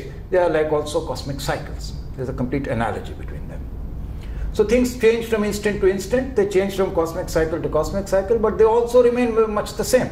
So you and I, we expect some stability of some sort, but things have changed. They do change, they remain somewhat the same. I mean, we in our own body, all our cells change after a few. Yes, but in some slight way, yes. Slight way. After billions of years in cosmic cycles. No, you're talking about even the cells. Instant to instant. The cells in which constitute a body, they all get re all get all changed, all get replenished but from moment to moment, but something we believe continues. Continues.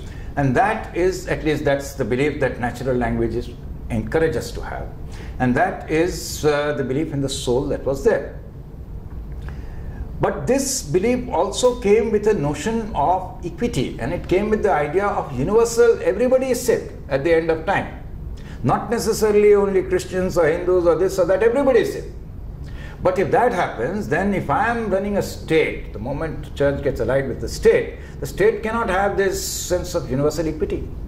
So the citizens must have an advantage over others. Like US says, we can respect your privacy of your citizen, but you don't have to respect anyone else's privacy. So the others have to be put to a disadvantage, and that is what uh, the new doctrine that Augustine brought in. Because Augustine misrepresented Origen. And he said that uh, what Origen is talking about, he conflated it with supercyclic time. What Origen said that one cycle of the cosmos is not going to be exactly like the previous cycle. It is going to be a different, maybe better, maybe worse. And Origen conflated it with the view attributed to the Stoics of eternal recurrence. And that confusion has persisted in Western culture down the ages know, from there to T.S. Eliot or to Mircea Eliade, they're all talking about eternal recurrence. And why did he do that? Because he wanted to deny that equity. He wanted to say that, look, that's not what is going to happen. There is going to be an apocalypse very soon. The world has had, uh, came into existence a few thousand years earlier, is going to end very soon. And after apocalypse, so I call it apocalyptic time, after apocalypse, there is this divergence, and some people go to heaven and others go to hell. If you look at the Indian Mahabharata, for example, you go to heaven in between lives, and then you switch. Like when Yudhishthir goes to heaven, first person he finds there is Duryodhan, and he goes to hell himself first. So there is, uh, you know, you do something good, something bad. There are these shades of grey that are available. But now in this apocalyptic time, there's this divergence so it's eternally heaven or eternally hell, no possibility of transfer. So when you deny the prior lives and you deny that you say there is resurrection, reincarnation is changed to resurrection, life after death exactly once in bodily form. That's Augustine's doctrine. So you are uh, then resurrected in heaven or hell and you continue I mean, Augustine doesn't say when exactly whether you are reborn as a baby or adult because the body is one of those. So uh, this becomes the problem with heaven and hell that it is eternal. Now, this notion of eternity is related to infinity. So, if you see today, the symbol for infinity is this symbol. So, this is actually the symbol of a snake eating its own tail. So, if we look at the symbol for infinity, then this is a symbol of cyclic time, quasi cyclic time. It's a snake eating its own tail. And uh, according to Proclus, in his elements, elements which is called elements of theology, this is indicative of creativity. And this is the notion of eternity because a thing comes back on itself. Therefore, it's possible to be creative, and that is his notion of eternity. And that leads to a, the first creationist controversy.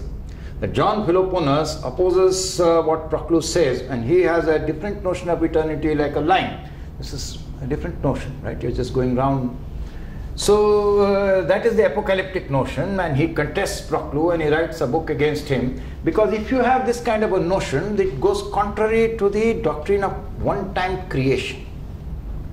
That's the problem. That uh, the cosmos is coming back on itself, so it was not created uh, any time in the recent past or anything like that. It was never created. And so, in order to preserve the doctrine of creation, he contests that and denies that. So this is what happens. So the notion of soul gets transformed.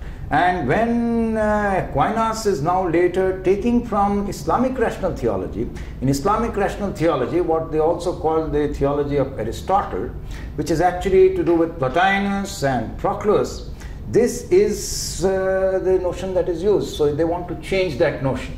And therefore, they have got eliminated that notion of soul, they have eliminated that, then what is left in mathematics? The theorems that are being proved. So it is persuasion, and that suits the purpose, and so that is what is taken over. So that's the transition from post Nicene theology to post crusade theology. And it is done always for political purposes, and those political purposes relate to acquisition of wealth and so on. Mm.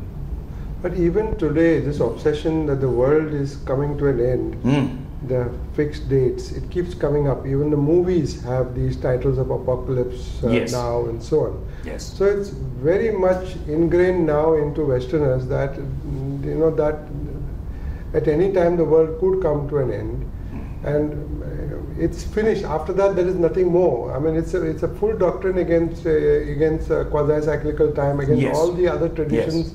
and against their own tradition, their own earlier tradition. Yes. So how is it that it has survived? See, this is the propaganda, the, uh, the idea that you are terrifying people. Now, if uh, you say, say, Origen did not have exactly a notion of uh, quasi-cyclic time, he would say cosmos goes through large number of cycles, but at the end there is some destruction. Or at the beginning there was some creation, and then cycles. So, but it is very far away. So I have got so many thousands and millions of lives to take care of. Why should I repent now? Why should I feel guilty now if I don't feel feel guilty now, the priest has no power over me. Yes, so this is related to the power of the to priest, the power of the priest, which was very clearly established from the fourth century onwards. Which was very clearly established from the fourth the century. The doctrine of fear, the doctrine of fear, replacement of Christianity, or the Absolutely. doctrine of love with the doctrine of sin. fear, doctrine of sin. sin. Yes, sin. the doctrine of love because love was a very sexual sort of love when uh, people talked of it, and this was what was completely banned. Mm. And it is like uh, the equity as in holy, mm. as opposed to uh, the uh, new way in which it is seen. So definitely all those changes took place, and those changes took place with this uh, idea of pursuing the power, and that led because apocalypse now it's going to happen now, doomsday now, repent. Hmm. Right? So people are frightened. Some people are frightened. So they are not banking on converting everybody. It's enough if you have 50% in a democratic society, more than enough. Mm. You have 20, 30% also, that's good enough. Mm. So some people get frightened and then they repent. Or then they join up with the church. And that is the source of power. After all, these films, I'm sure many of them would be financed by the church. Now, you'll be surprised to know yes. that even today, if you go to uh, a good Roman Catholic church, yeah and you listen to some of the sermons of the priests, mm. they are still in terms of uh, hell and damnation, fear of God, um, uh, and the, the word fear and um, fear of God is occurs as a general trend to most of the services, Absolutely. and the population is kept in that in that state of, of, of you know being fearful. Absolutely, because fear of God translates to fear of his broker, which is the priest sitting there. But there is also a more sophisticated level. So we are talking about the metaphysics in mathematics, it creeps into metaphysics in physics. So we talked about that concept of infinity, but that concept of infinity is what is used by, say, Stephen Hawking to establish singularity, to establish uh, the validity of Christian theology, post crusade Christian theology, which is what Tipler would do using the theories of Hawking and very explicitly. And uh, Hawking does it explicitly, he talks about the moment of creation, the point of creation which is outside the laws of physics, so that God is free to create the world of his choice. But how does he come? The singularity is an infinity of some sort. Where does that infinity come from? It comes by differentiating a discontinuous function. Why should you not differentiate? Because you postulate that nature is continuous, nature is smooth. Why? Because you have to do calculus in a particular way. So, you know, this kind of metaphysics has all sorts of subtle implications. And everybody thinks Stephen Hawking is a great scientist. They've never read a word of what he has written. When Penrose came and he argued with me, I understood. All these professors from JNU and Delhi University were sitting there. They didn't understand what he was saying. He mixes up two, three things and talks about it. They don't know. They don't know the corresponding mathematics, the general theory of relativity, computational sciences, theory of computation. He mixes up everything and talks about it, and they are left stranded. They don't know what they are talking about, and they just believe. So, this belief this uh, subordination to authority becomes part of the whole story and from the metaphysics and mathematics it trips into physics as well. How do i know how the cosmos was created? How do i test it empirically? It is beyond my experience. I can't even see to the center of the galaxy with the best telescope i have got today. The creation of the cosmos very far No, off. it's, it's, it's still quite amazing to is to grind even that uh, Delhi king who kept a bell outside so that any faryadi must get insaf instantly, otherwise the whole world will collapse with this disharmony. Even he could not deliver it that fast, could he? There is the notion of a businessman who wants to get achieve the achieve heaven, and then he he like does good things to get to heaven. So it's as if like he's doing business. Yes. So what is uh, what is uh, really amazing to is to discover that even very very well known thinkers and writers and physicists like you know like um, uh, Stephen Hawking and um, this uh, Hawkins and this um, um, uh, Tipler Yeah. um, have now either directly or, or indirectly come across to propagating a view that science is in a certain sense or the discoveries the so-called discoveries of modern science perceptions of modern science are more or less legitimizing the entire interpretation of the world as per given in the christian uh, faith what is your uh, um, take on this Yeah, my uh, uh, take on this has been right from the time of 11 Pictures of Time that what we are witnessing today is a remarriage. In between, there was some tension between science and religion, but they were married long ago. And there was some separation, and now what you are witnessing is the remarriage. So let us take an example. The first lesson in science that people learn is uh, Newton's laws of uh, motion, Newton's laws of physics. Now, why are they called laws of uh, motion? Why are they called laws of physics? Why should there be any laws at all? But this point is drilled into children's heads. And now let's see the bias which has already come in. Now they are called laws because uh, Aquinas in his uh, Summa Theologica says that God rules the world with eternal laws. Because that's the nature of the ruler. He is not intervening in the world every moment. He is uh, he's created these eternal laws which are then ruling the world. And then Newton thinks that is why he wants perfection in his mathematics because they are the laws of God which have been revealed to him. And the important thing is they should be perfect. It doesn't matter if they are not practical. it's known to God. Time is known to God.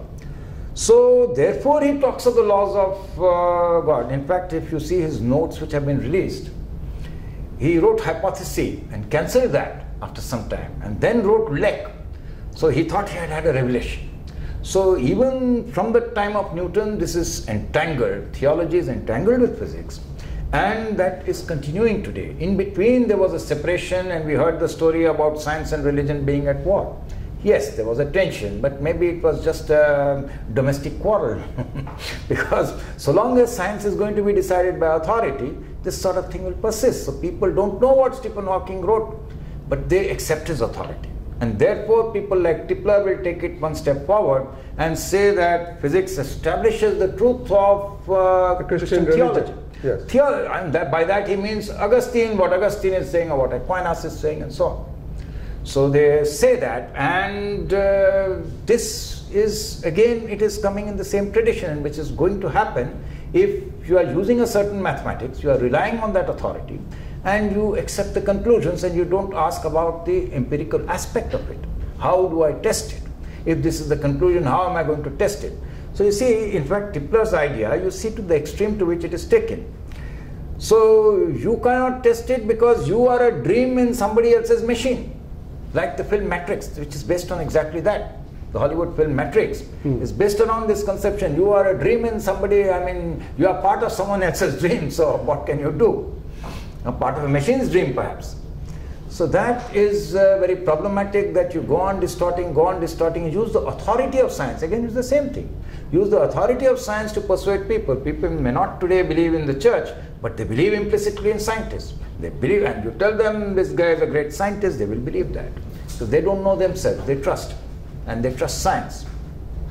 So that becomes a vehicle for propaganda just as much as films are a vehicle for propaganda or anything else is a vehicle for propaganda. Mm. And uh, that is how the propaganda continues today. I see it as something natural. And the only remedy for it is that we have to ask that science is not about trusting Western scientists. Science is about applying one's mind, science is about performing experiments, science is about testing things, science is about being skeptical about everything, including the mathematics that was done, that was put into it. So, unless you have that, skepticism of the West is an essential part of that. We'll grab all those superstitions and they will be pushed into us the way they are that is happening because that's a source of power. It's a source of soft power. And soft power is not just something which happens with the church, it is something which the US military strategy post Cold War has. That is the Huntington's idea using Toynbee's conceptualization of history, which again mixes up religion with history, and saying that this is the means to go ahead after the uh, demise of the Soviet Union. So one of the things that uh, people use to deflect, uh, you know, this um, discussion of these uh, these issues is um, when you when you talk to them about uh, Western science and Indian science or Islamic science and so on, uh, they invariably come out with this argument that in any case, um, whether whatever science you're talking about, when you're talking about you use two plus two is equal to four I mean, that is, is, is uh, whichever science you come from, that is true. And that is universally valid. And therefore, you shouldn't, you know, um, and this has come from the West. And therefore, this is in a certain sense, against a legacy which the West has given us some invariant, invariable truth which cannot be doubted by anybody and which is so common and so obvious and it is theoretical and yet it is practical because even if you have no even if you don't look at two and two two objects plus two objects you can look at two numbers which are abstract symbols and then put them together and you can come to a conclusion that that is four.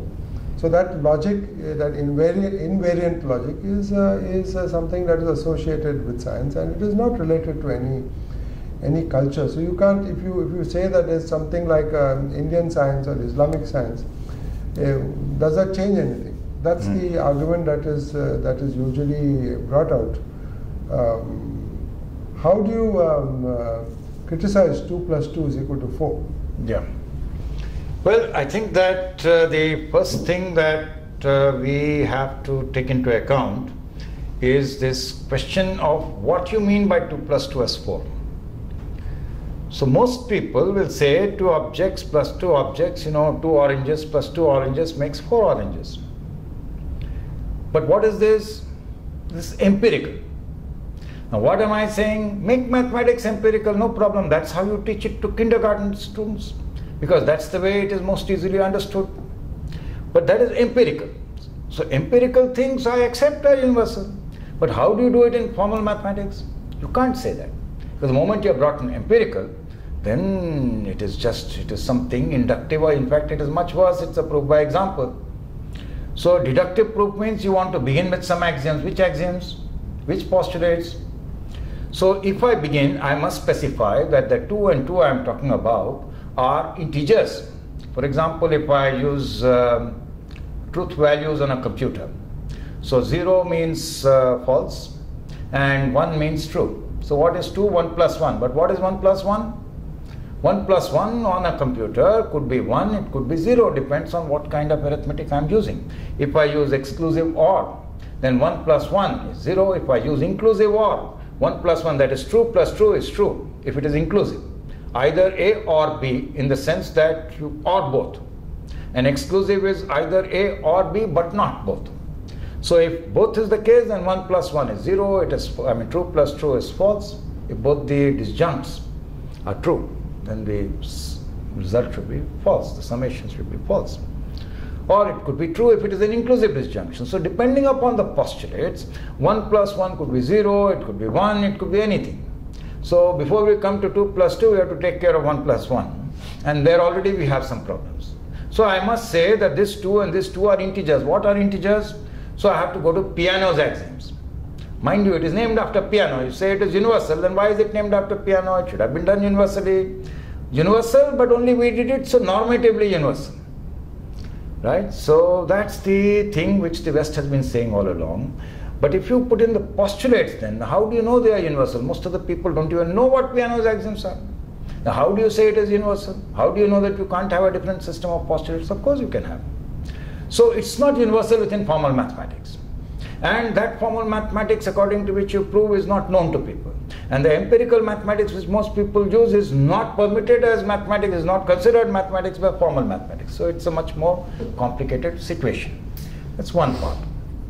Second part is that supposing we are really, uh, let us look at a computer for example. It can manage 2 plus 2 as 4, but if you do 20,000 plus 20,000, I have a sample C program you did it on the older 16-bit um, systems, or uh, you would not get 20,000 plus 20,000 as 40,000. Today, if you do in the Java programming language, if you get 2 billion plus 2 billion, it's not going to give you 4 billion. It will give you a negative number, a big negative number. So how does that happen? So I have some lectures explaining that, I have some lecture notes, I have a program and so on and so forth. What happens? It's because you're neglecting small things. So if you do that, you get a different kind of arithmetic which can happen. So once more, it's not universal, but on the contrary, you should take that practicality into account. When you want to do bigger numbers, then you have to shift your focus. You can't have a mechanical rule and so on. Anyway, what I would say is that 2 plus 2 as 4 may be universal. If it is universal, it is universal only as an empirical fact. Although that also is contestable. Because if I have two stones and two stones and I break one stone, how many stones do I have? I have five. If I have two big fish and two small fish, how many fish do I have? Do I have two big fish? I mean, three big fish or five small fish? So those that is contestable, but uh, this is something that is drilled in. It's an example of the authority of science. One of the biggest Indian philosophers, Daya Krishna, he came up with this: that two plus two, as certain as two plus two is four. So it's a myth, the certainty of mathematics, the certainty of that. But apart from that, whatever is certain is the empirical fact, and that empirical fact is not mathematics. By definition of formal mathematics today, you can't use it. So what does one then mean by 2 plus 2 is 4? Because if people don't know what Peano's axioms are, they don't know what integers are according to Peano's axioms, they don't know what addition is according to Peano's postulates, what do they mean by 2 plus 2 is 4? 2 oranges plus 2 oranges? It's empirical mathematics. It's related in some sense to the issue of, uh, of uh, laws that we were talking about. Uh, again, um, something that is valid and true for all time to come. And the natural question that you will ask is how do human beings who are temporary in nature, how do they get access to these laws? Now, the only source is through some communication with a person who is hitherto associated with omniscience. Yes. And that is God. Yes. But if you don't have that direct access, a Revelation. Yes. revelation, then how do you get access to this? So then, what is the sense of calling something a law? Absolutely. So let us discriminate between mathematical laws and physical laws. So mathematically, students are taught, children are taught there is associative law, there is commutative law, everything is called a law. Just to give the idea that the world is ruled by laws, just exactly as Aquinas conceived it. But these numbers on a computer are notorious criminals because they break those laws. You don't find floating point numbers, don't obey associative law, and so on. So there is uh, those laws are not universal even in formal mathematics. Still, they are called laws. Why laws? Because Aquinas said God rules the world with laws in his Summa Theologica, and those laws must be eternal. What is science about? On the contrary, it's about making fallible models. You make a model, it may fail, and then you improve it, and then it may fail again, and it will keep failing again. So, eternality, as you say, is not part of human experience. It has to be, anybody asserts eternality, it has to come from uh, the as a revelation. And in fact, how do we assert the existence of eternal laws? Can anybody refute it? And that's Popper's test that if something is to be scientific, then it should be refutable. How does one refute the belief? I mean, every law that we know has failed, so we should reject it. Or if you want to maintain the belief in laws of nature, then you should be you should point to some experiment which will conclusively refute it. As far as I know, all the existing laws have been proven to be wrong. But if people feel that is the case, how do you conclusively refute that something, uh, how do you say it will last for an eternity? It cannot. It's beyond the uh, human experience, so it is irrefutable, therefore unscientific. Apart from its historical origins in post crusade theology, it is also not refutable, therefore not science. So there are several lines of argument according to which the belief in laws of nature is not science. But it is part of the metaphysical infrastructure which uh, people had in Europe and it has flown to us and we accept it. We teach our children, oh, laws of motion, laws of physics and so on without any understanding. So absolutely right. So it's then you science. would say you would say that is you cannot strictly use the word scientific laws. Yes. You cannot strictly use them because that, You that cannot even non-strictly use them. you should not use them. Should not use them. because once you claim that there is a law, then uh, people have to follow that law and they have no choice in the matter. Absolutely. And but then you yourself say that these laws keep changing Hmm. because uh, law at particular time is not appropriate because people have found it to be deficient. Then it is Right. replaced by another formulation of the law, Yes. which people then have to follow. Then that is shown to be incorrect. Then Right. people have to follow the third one. So then, how can you call it law? You can call it an approximation. Or you can call it whatever, but you cannot call it law. But the moment you give it uh, the the, the name, Yes. the title of a law, then it automatically means obedience. Correct. Correct. Obedience is yeah, inbuilt. yeah, not only law but eternal law because it is a law made by God who is ruling nature by means of laws. Now, that is one conceptualization. That's the conceptualization which has been the case in Western tradition, in European tradition, and so on. But that's not the conceptualization that existed, for example, in India. So when they did uh, astronomy in India, they didn't talk about laws. They just said we have a model. And that model is a fallible model. Everybody accepts that it's fallible. I don't even say approximation. Because if you say approximation, you should know what the reality is. Yes. I don't know what the reality is. So I have a model, and I know that my past models are all fallible, so I know this model is also going to be fallible. So I have fallible models, but that's all right. I can get along in the world with fallible models. I am not claiming to omniscience. I am not claiming that I have seen the mind of God the way Newton claimed. Hmm. So fallible models is the way to do science. But that is a very modest thing. It does not fit into the Western claims of superiority. Say, I have seen the mind of God and therefore we have known this and you guys don't know all this stuff. You didn't understand. That statement is being made. That Newton perceived. He read the mind of God. He was a prophet of science, not just a scientist. And that is problematic because that conceptualization is used to push for the superiority, to talk of Western science. So, as a matter of fact, what West has done is introduced a religious element into science. And that should be taken off. It's not a sign of superiority, it's a sign of inferiority. It's a sign of metaphysics creeping into physics, which should be thrown out of physics. It's interesting. What do you? How, how do you then respond to Einstein's famous Hmm. Saying that God does not play with dice. Mm. Now that statement was in the context of quantum mechanics. Mm. Because I mean, his, his, his, his negative response to quantum mechanics in the, in the earlier stage. Yes, because he could not understand what had happened in quantum mechanics. As a matter of fact, he didn't even understand what happened in relativity. But uh, that is another story because he made a mistake there. You know, he was not uh, really uh, good enough. But the idea was that probability cannot be built into the laws of physics because the laws of physics are made by God. In effect, I mean, whether he is using God in a literal sense or a metaphorical sense, he is still capturing the thinking mm. of a majority of people who think that, well, God has made these laws and he is not going to be playing with dice, okay, now you suddenly get something, now suddenly somebody else gets something at random. It should be decided in some law like manner and not by a game of chance or not at random or not. Um, so that is what he's suggesting that the universe, cosmos ought to be orderly. That's the expectation. So we have got to find out at which stage the notion of infallibility. So the idea that God does not play dice, that probability theory does not play any role in the cosmos, is a somewhat simplistic idea. Because probability you have, the notion of temperature, is probabilistic because it concerns an assembly of molecules, yet you feel it. It's part of your um, direct experience of the notion of pressure. It again involves the random motion of molecules, and so nevertheless you feel it. So that's not so much the issue. I think the real confusing issue about quantum mechanics is that the probabilities are different. Quantum probabilities are different from your uh, classical probabilities. And what is the difference? The difference is the logic on which they are defined. The two valued logic, which formal mathematics said is universal, is not the case in quantum mechanics. So it's more than playing with dice, it is there the law of the excluded middle, another law. Call it a law, right? The doctrine of the excluded middle fails.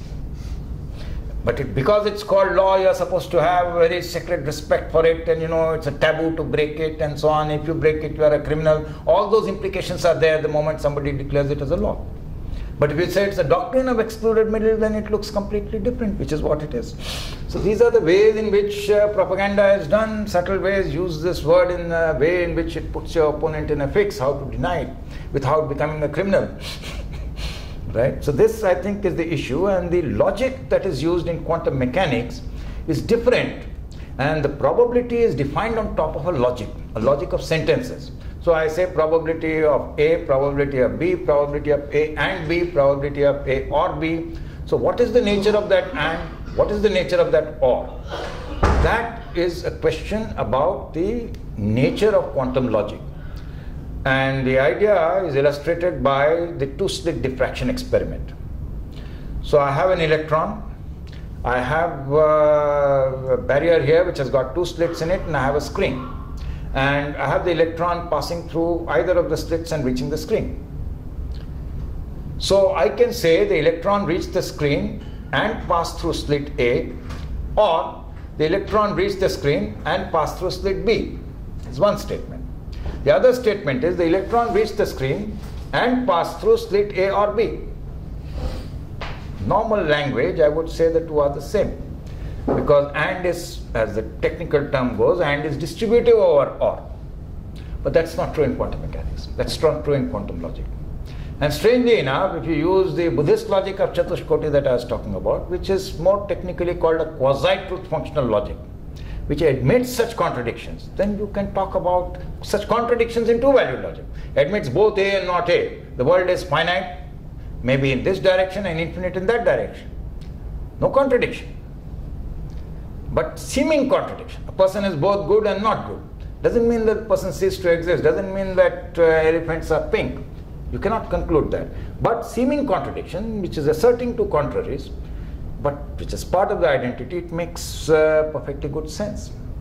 So that kind of a logic, which is a quantum logic, leads to a different kind of probabilities, quantum probabilities, where you cannot talk about joint probability distributions. This is a slightly technical point. I cannot say that uh, the probability of the position of the particle is this and the probability of its momentum is this. Because jointly I have two variables. I can talk of the probability of its position being something, I can talk of the probability of its momentum being something.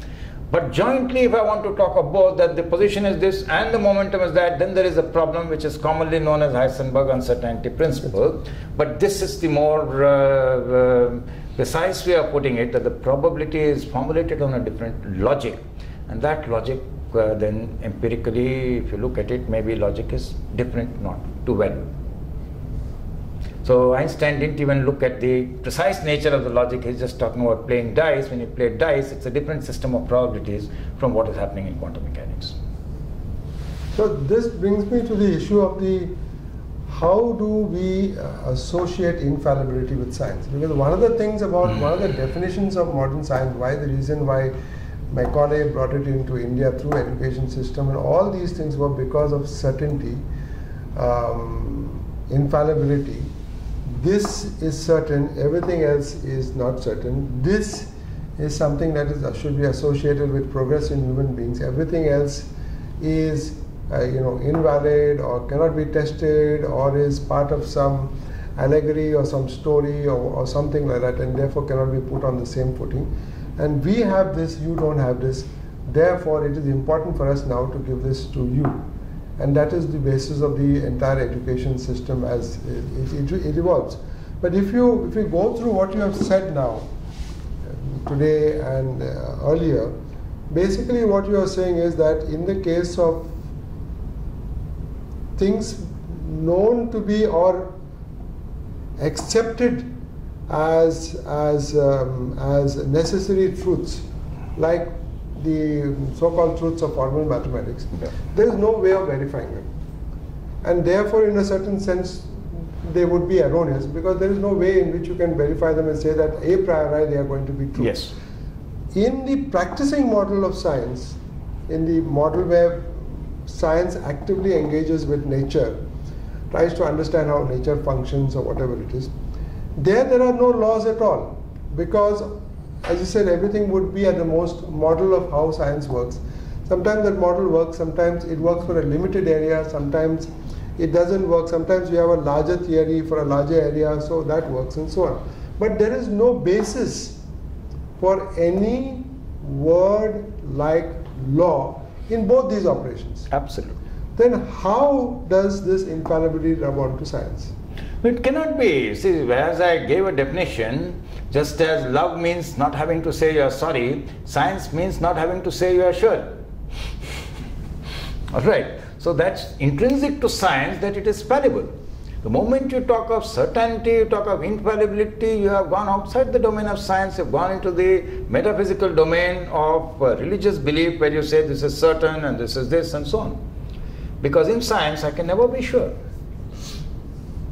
So that fallibility is essential part of science. But the story that the West told about science was that they were superior.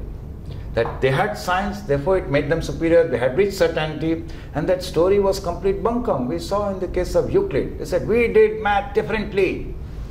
And 700 years they kept saying that, then they found they had not actually been doing it differently. But then they told another story about it to hang on to the story. So Macaulay's thing was based on that kind of story calculus, we got calculus, so we, Newton is so far advanced, but calculus he got from India.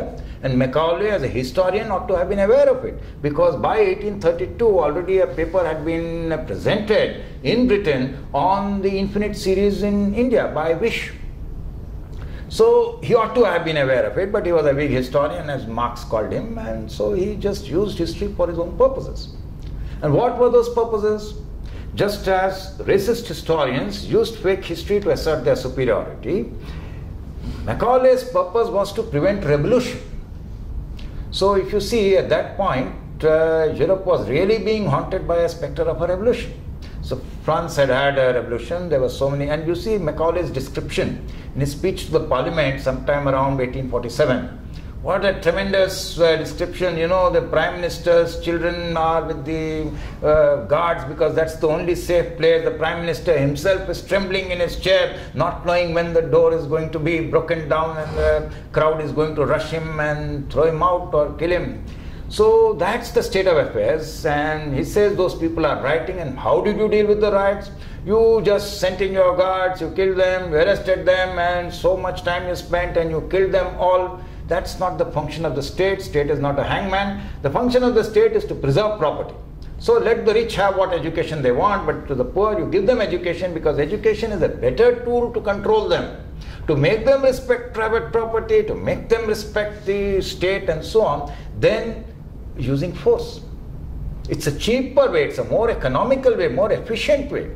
That's what he argued in the British Parliament that education is a means of restraining people from revolting. They would have revolted. So, if you did not have uh, revolt in Britain, it may have been due to their educational policies.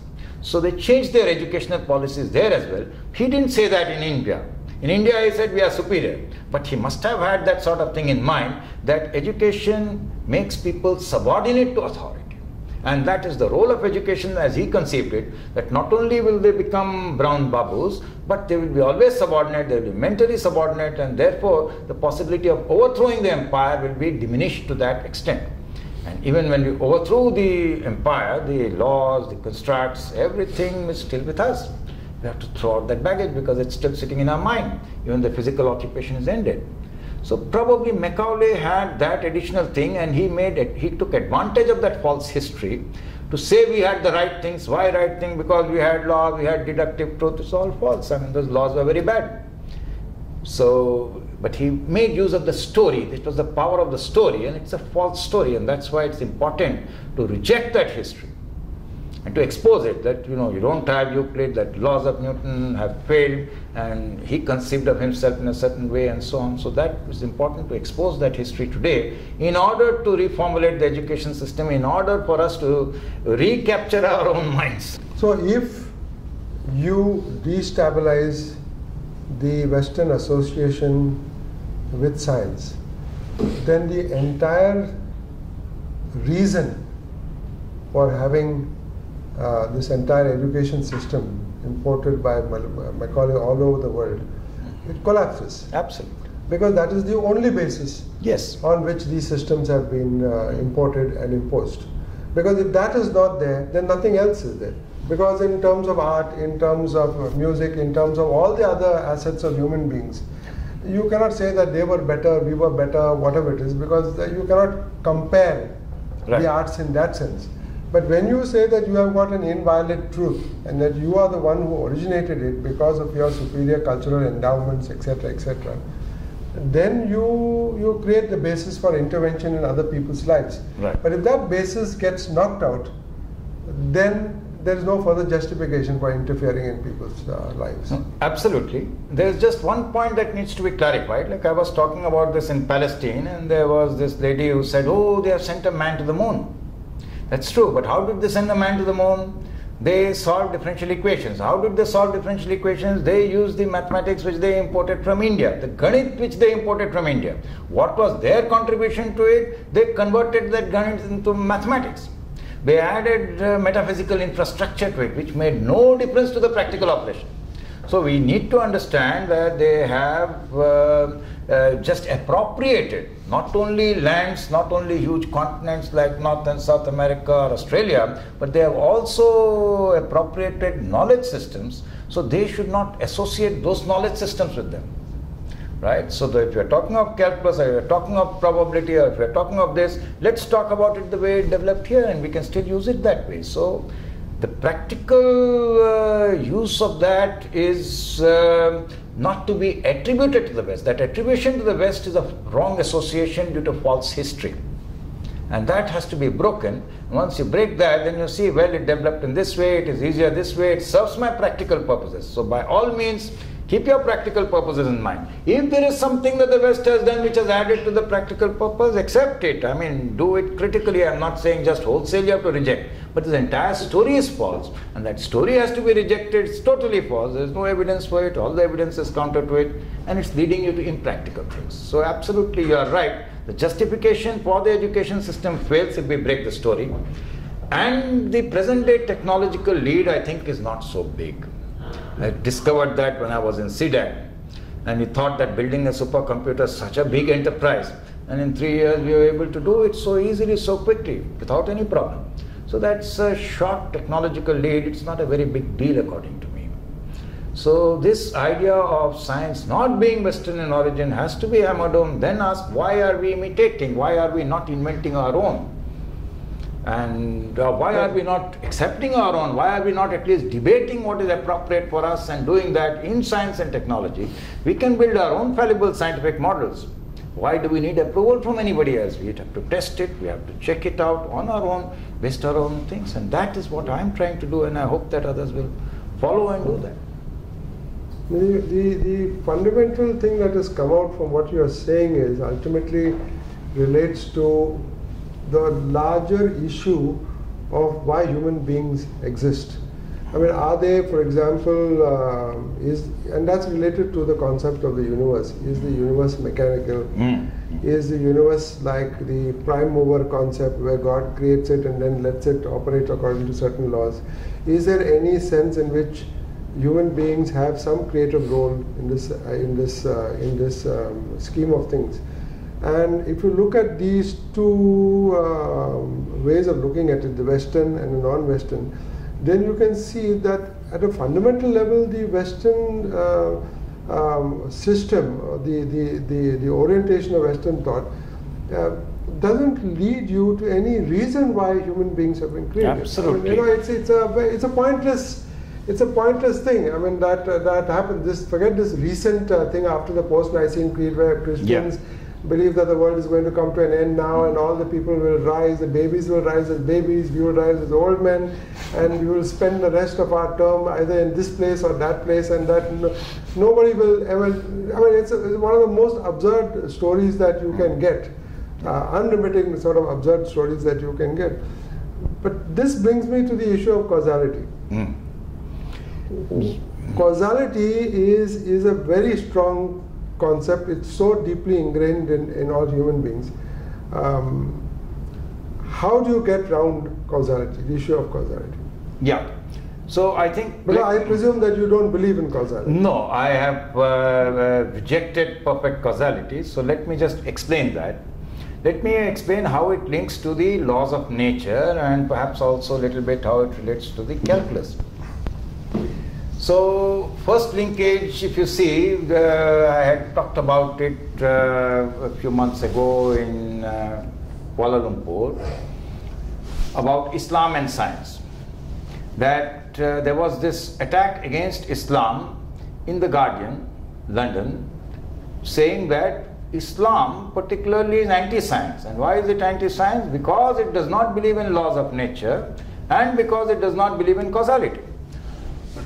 now these two things, issues about uh, laws of nature and causality, they keep cropping up. There was a course on um, history and philosophy of science in the University of Science Malaysia. Now I happened to be on the Senate and so I was called in for the discussion where the person kept harping on these two issues of laws of eternal laws of nature and causality. And I asked him to explain, can you give an example of eternal laws of nature? He didn't have. And we just uh, realized, I mean, that is what this lecturer here is doing, but Guardian London is doing it on a much bigger scale. And this has been a stock critique of uh, Islam that it does not believe in laws of nature, does not believe in causality, because it believes in creativity, in some sense. So, this is one aspect. The other aspect, uh, the linkage which I would like to make is that uh, let us look at what happened with Newtonian physics. So Newtonian physics is completely mechanistic because you have a solution and it is all right if you are talking about planets, planetary motions and so on, you could say something that it is reasonably mechanistic. Uh, you don't see them moving around on their own, but any child can tell the difference between an inanimate object and an animate object most of the time. Right? Something which is uh, somehow self-motivated or something which is a mechanism. But the demand for mechanism came in because of the pushes of post-crusade theology that you must have a mechanistic world. Uh, Russell says Augustine also believed in that. But that demand came due to theological compulsions. That man cannot surprise God. Mm. And that depends on a particular conception of God, which is a transcendental God who's sitting and ruling over everybody. And that was a different concept from the concept which existed in India, which existed in Islam, which existed in Egypt, and so on, which existed in early Christianity. which is an immanent God.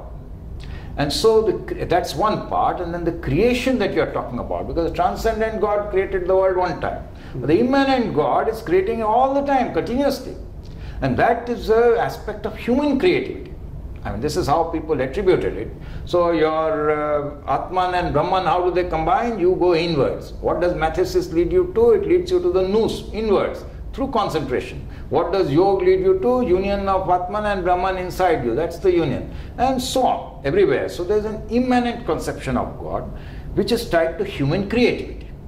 That you are creating the world, you are creating the world afresh at each instant in a small way not the entire cosmos, but a small part of it.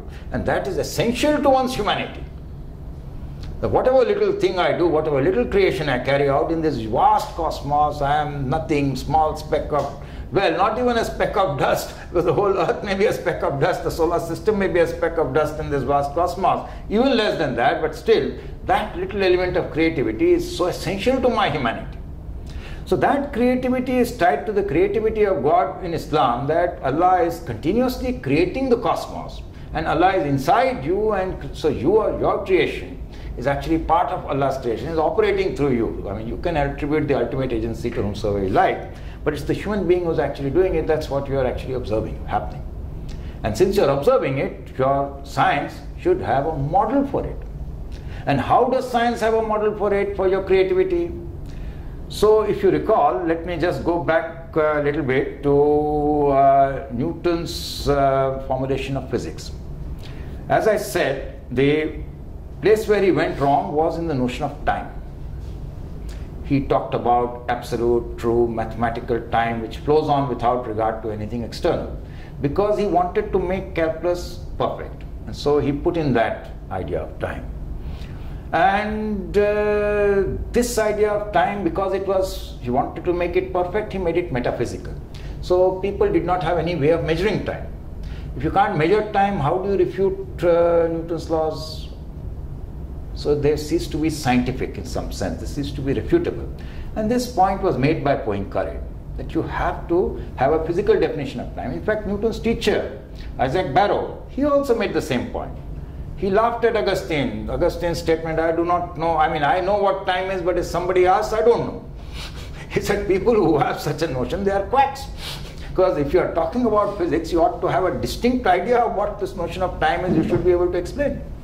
But anyway, Newton took a step backward. He talked about uh, this, you know, he made time metaphysical uh, the idea that equal times, and Barrow had an idea of equable uh, time, equal flow of time, but it was a physical notion that you have a sand glass and you invert it, and it takes about the same time for sand to fall like this and to fall like that because the causes are roughly the same.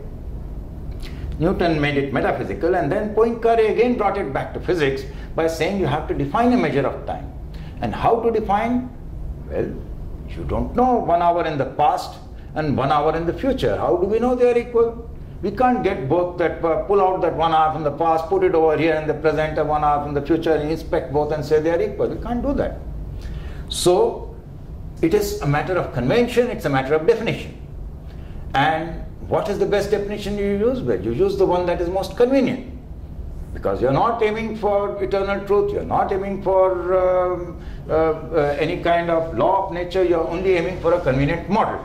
So you are only aiming for a convenient model. Or, uh, well, tomorrow you don't like it, you change it. If it disagrees with something, you change it.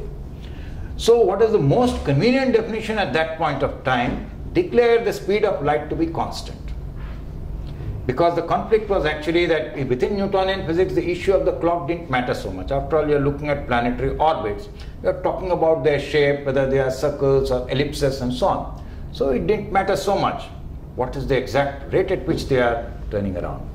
But within with electrodynamics, the notion of time became important. And when you want to reconcile Newtonian physics with electrodynamics, there was a problem how you define time in Newtonian physics. So this definition by declaring the speed of light to be constant, so it doesn't matter whether the charge is moving, it will still, the light uh, which comes out from it, light wave which comes out from it, will always have the same speed, same velocity. Well, not velocity, speed. This uh, definition was a convenient definition. It gives you a notion of equal intervals of time. If I take two parallel mirrors, and I bounce a light particle or light wave between them, the times between the bounces are equal because the speed is constant. It doesn't matter if they are moving or anything like that. Now, once you have such a definition, that leads to the theory of relativity.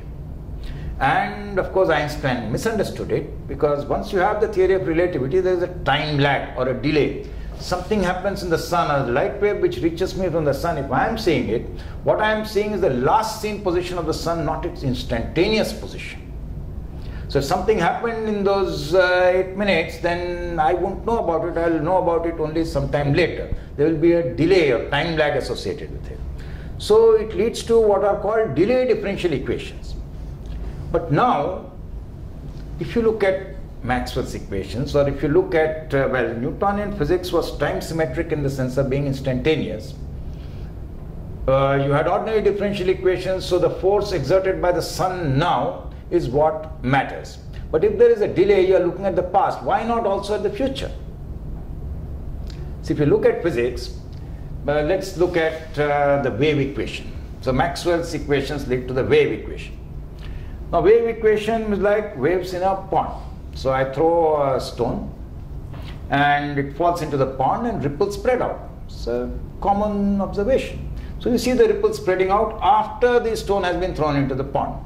That is one solution of the wave equation. There is another kind of solution. What is that other solution? It is the time reverse. What is the time reverse? I film those waves. I film the whole process. I play the film backwards in reverse mode. So what do I see? I see the waves spontaneously converging, throwing the stone out of the pond.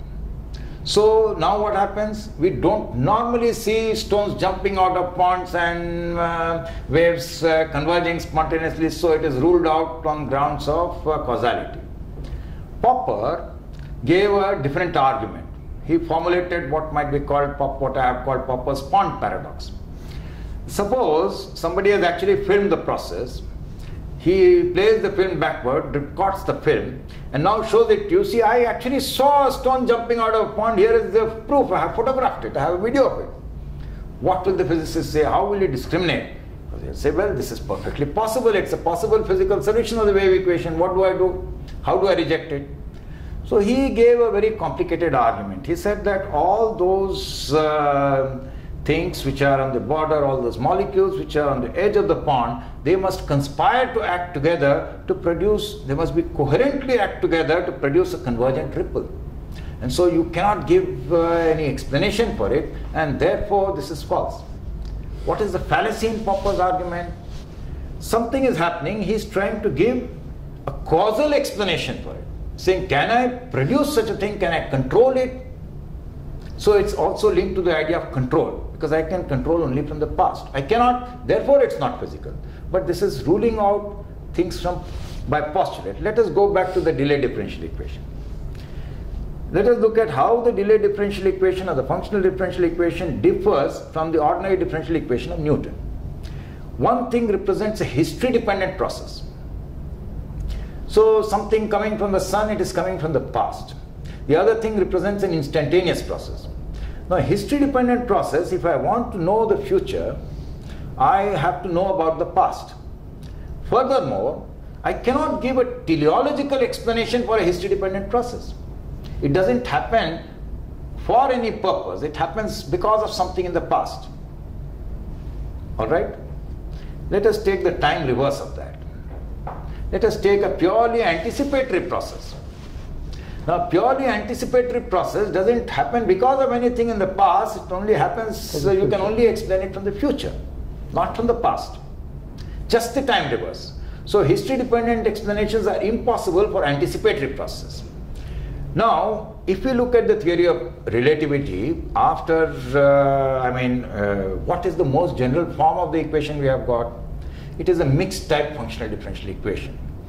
I mean, we can say that we don't normally observe stones jumping out of the pond, but how about one part in a billion of uh, electromagnetic radiation coming in from the future? How do we know it's not the case? So, what we should do as scientists is we should say we don't impose a metaphysical principle on the world. We look at the way the world is and then derive what we can do. So we have this as the most general kind of account of uh, physics, which is the best we have at the moment, not saying it's infallible, not saying it's eternal, that's the best we have at this time. So, what do we do with this? We should compare it with uh, our empirical experiences, and if it is not valid, we should reject it.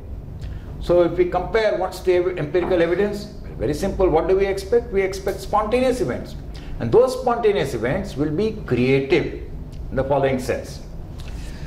If we look at a history dependent process, this history dependent process is you are losing information because from knowledge of the past you can determine the future in a history dependent situation. But you can't do the other way around. So you have more information about the past than you have about the future. This is like saying entropy, take it as a negative of information. So your entropy is increasing towards the future. That's as simple as that. So with a history dependent process, entropy increases towards the future. With an anticipatory process, you have the exact reverse. Entropy decreases towards the future. So what you can expect is two competing processes, history dependent and anticipatory. One is increasing entropy, one is decreasing entropy. The history dependent process dominate, so you expect an increase of entropy overall, but you also expect creative process. Now we ask ourselves, do we actually observe spontaneous events? Do we observe creative events? Do we observe order being created? Do we observe entropy? We do. We do, and not only in refrigerators, not only life itself is fundamentally like that. That uh, the whole idea is that life, one is able to create and one does things. In the sense that, supposing I want to drink this uh, uh, water or not, supposing there is Laplace's demon out there, Mm. And Laplace's demon makes a calculation. He is a super scientist, so he knows all the laws of nature. That's how he was conceived. Yes.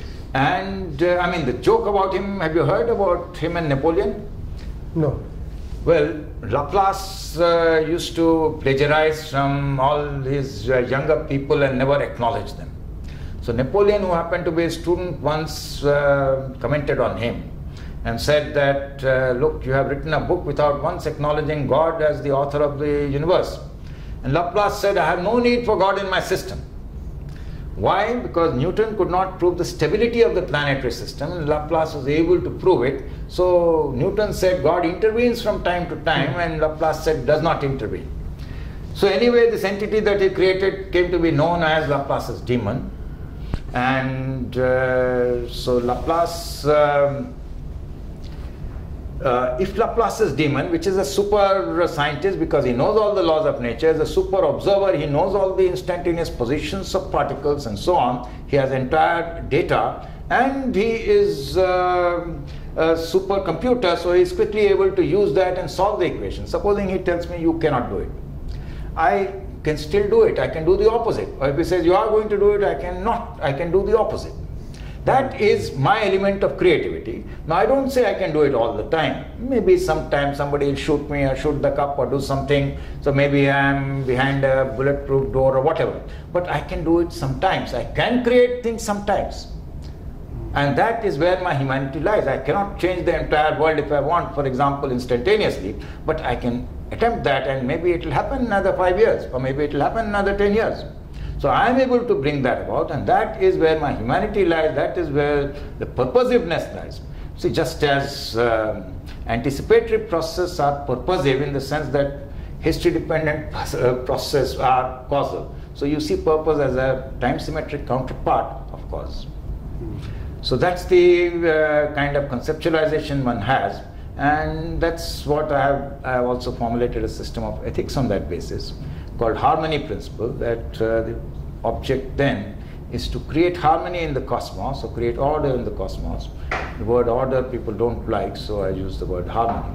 I don't think there is a precise word for it, but that's I think you understand. And then the, uh, it ties up with the Eastern conception of an immanent God, where you are saying this is this creation is being done. It is being done continuously. And it's being done at a very mundane level, and you observe it. You say, This is not something, you're not talking about something non observation. I'm lifting this, I'm drinking water, I'm doing all sorts of small things. So I'm creating the cosmos at the next instant. A very tiny part of it, but I'm doing that.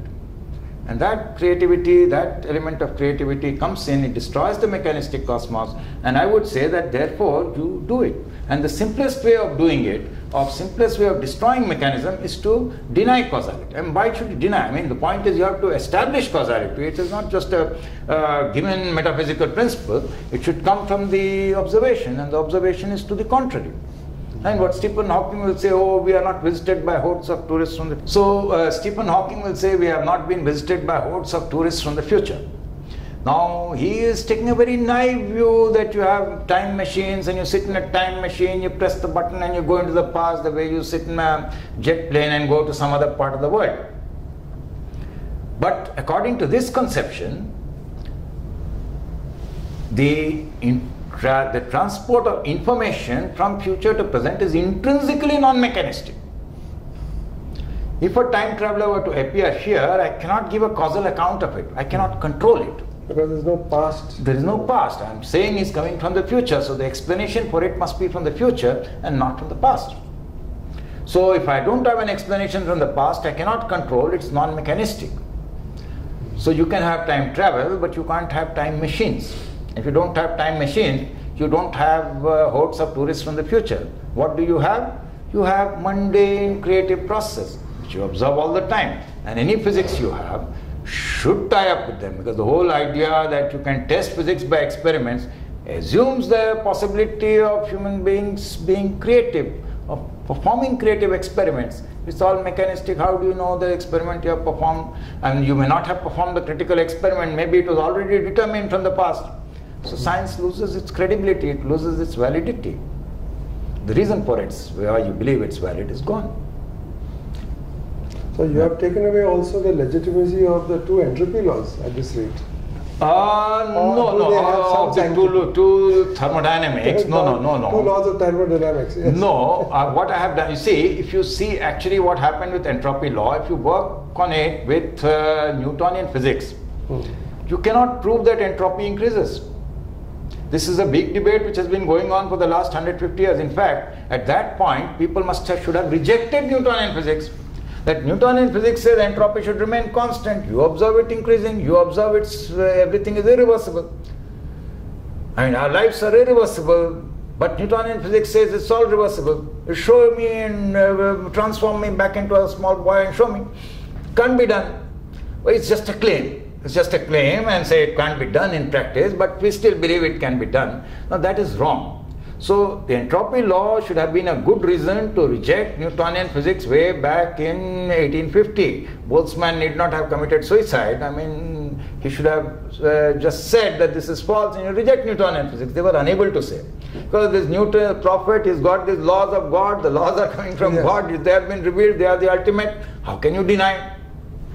So this was the problem, and actually you observe irreversible process, so that is good reason to reject Newtonian physics. Now with my formulation, I am on the contrary explaining. Because the, so, the Poincare recurrence theorem that was a part of the recurrence paradox, that does not apply to history dependent process. So the reversibility paradox, because the ordinary differential equation is reversible, that also does not apply to history dependent process. You can solve them one way, not the other way. So with a history dependent process, you are actually explaining the increase of entropy. If something is history dependent, entropy must increase towards the future. So it's to the contrary. But what I am saying is that there is also something acting on the other side. Entropy law doesn't say that every process must increase entropy. If you have the inside of a fridge, you are reducing entropy there, but at the expense of entropy somewhere else. So it's only the sum total of entropy which must increase in the entire cosmos, which is still happening. If most processes are history dependent, some are anticipatory, then this is still happening. Right? So they have predominance of entropy increasing process and some entropy decreasing process. So this is happening, but you also have the opportunity to create some order which you see happening spontaneously, not mechanistically. And the mechanistic physics is broken down, the mechanism is broken down because that was an ideological thing. And this is what you observe. So this is closer to observation. But so long as you say science means you have to get Western approval, and those guys are sitting with their grants and they have so much vested interest, and their interest is making bombs, so you should be able to control. You talk of non mechanistic physics means you can't control. What's the use of that? We can't use it to make bombs. so, you know, then you reject that sort of physics. But actually, everybody else should welcome it because it fits into everybody else's concept of uh, creativity. Right? Certainly, all the Islamic countries should welcome it. Certainly, all the Buddhists should welcome it. Certainly, all uh, the uh, Hindus should welcome it, and so on. So, I think this ought to be understood that at least it's a different cultural. it agrees with a different cultural concept. Thank you. Uh, but I should add one thing. I should add one thing that I am not suggesting that it should be accepted because it agrees with the cultural concept. I am saying that it should be agree. I mean, it should be accepted on grounds of the empirically manifest, and uh, it so happens that it agrees with the cultural concept, and we should use it to crow about our superiority for the next 700 years. Yes, do what do unto others what they do.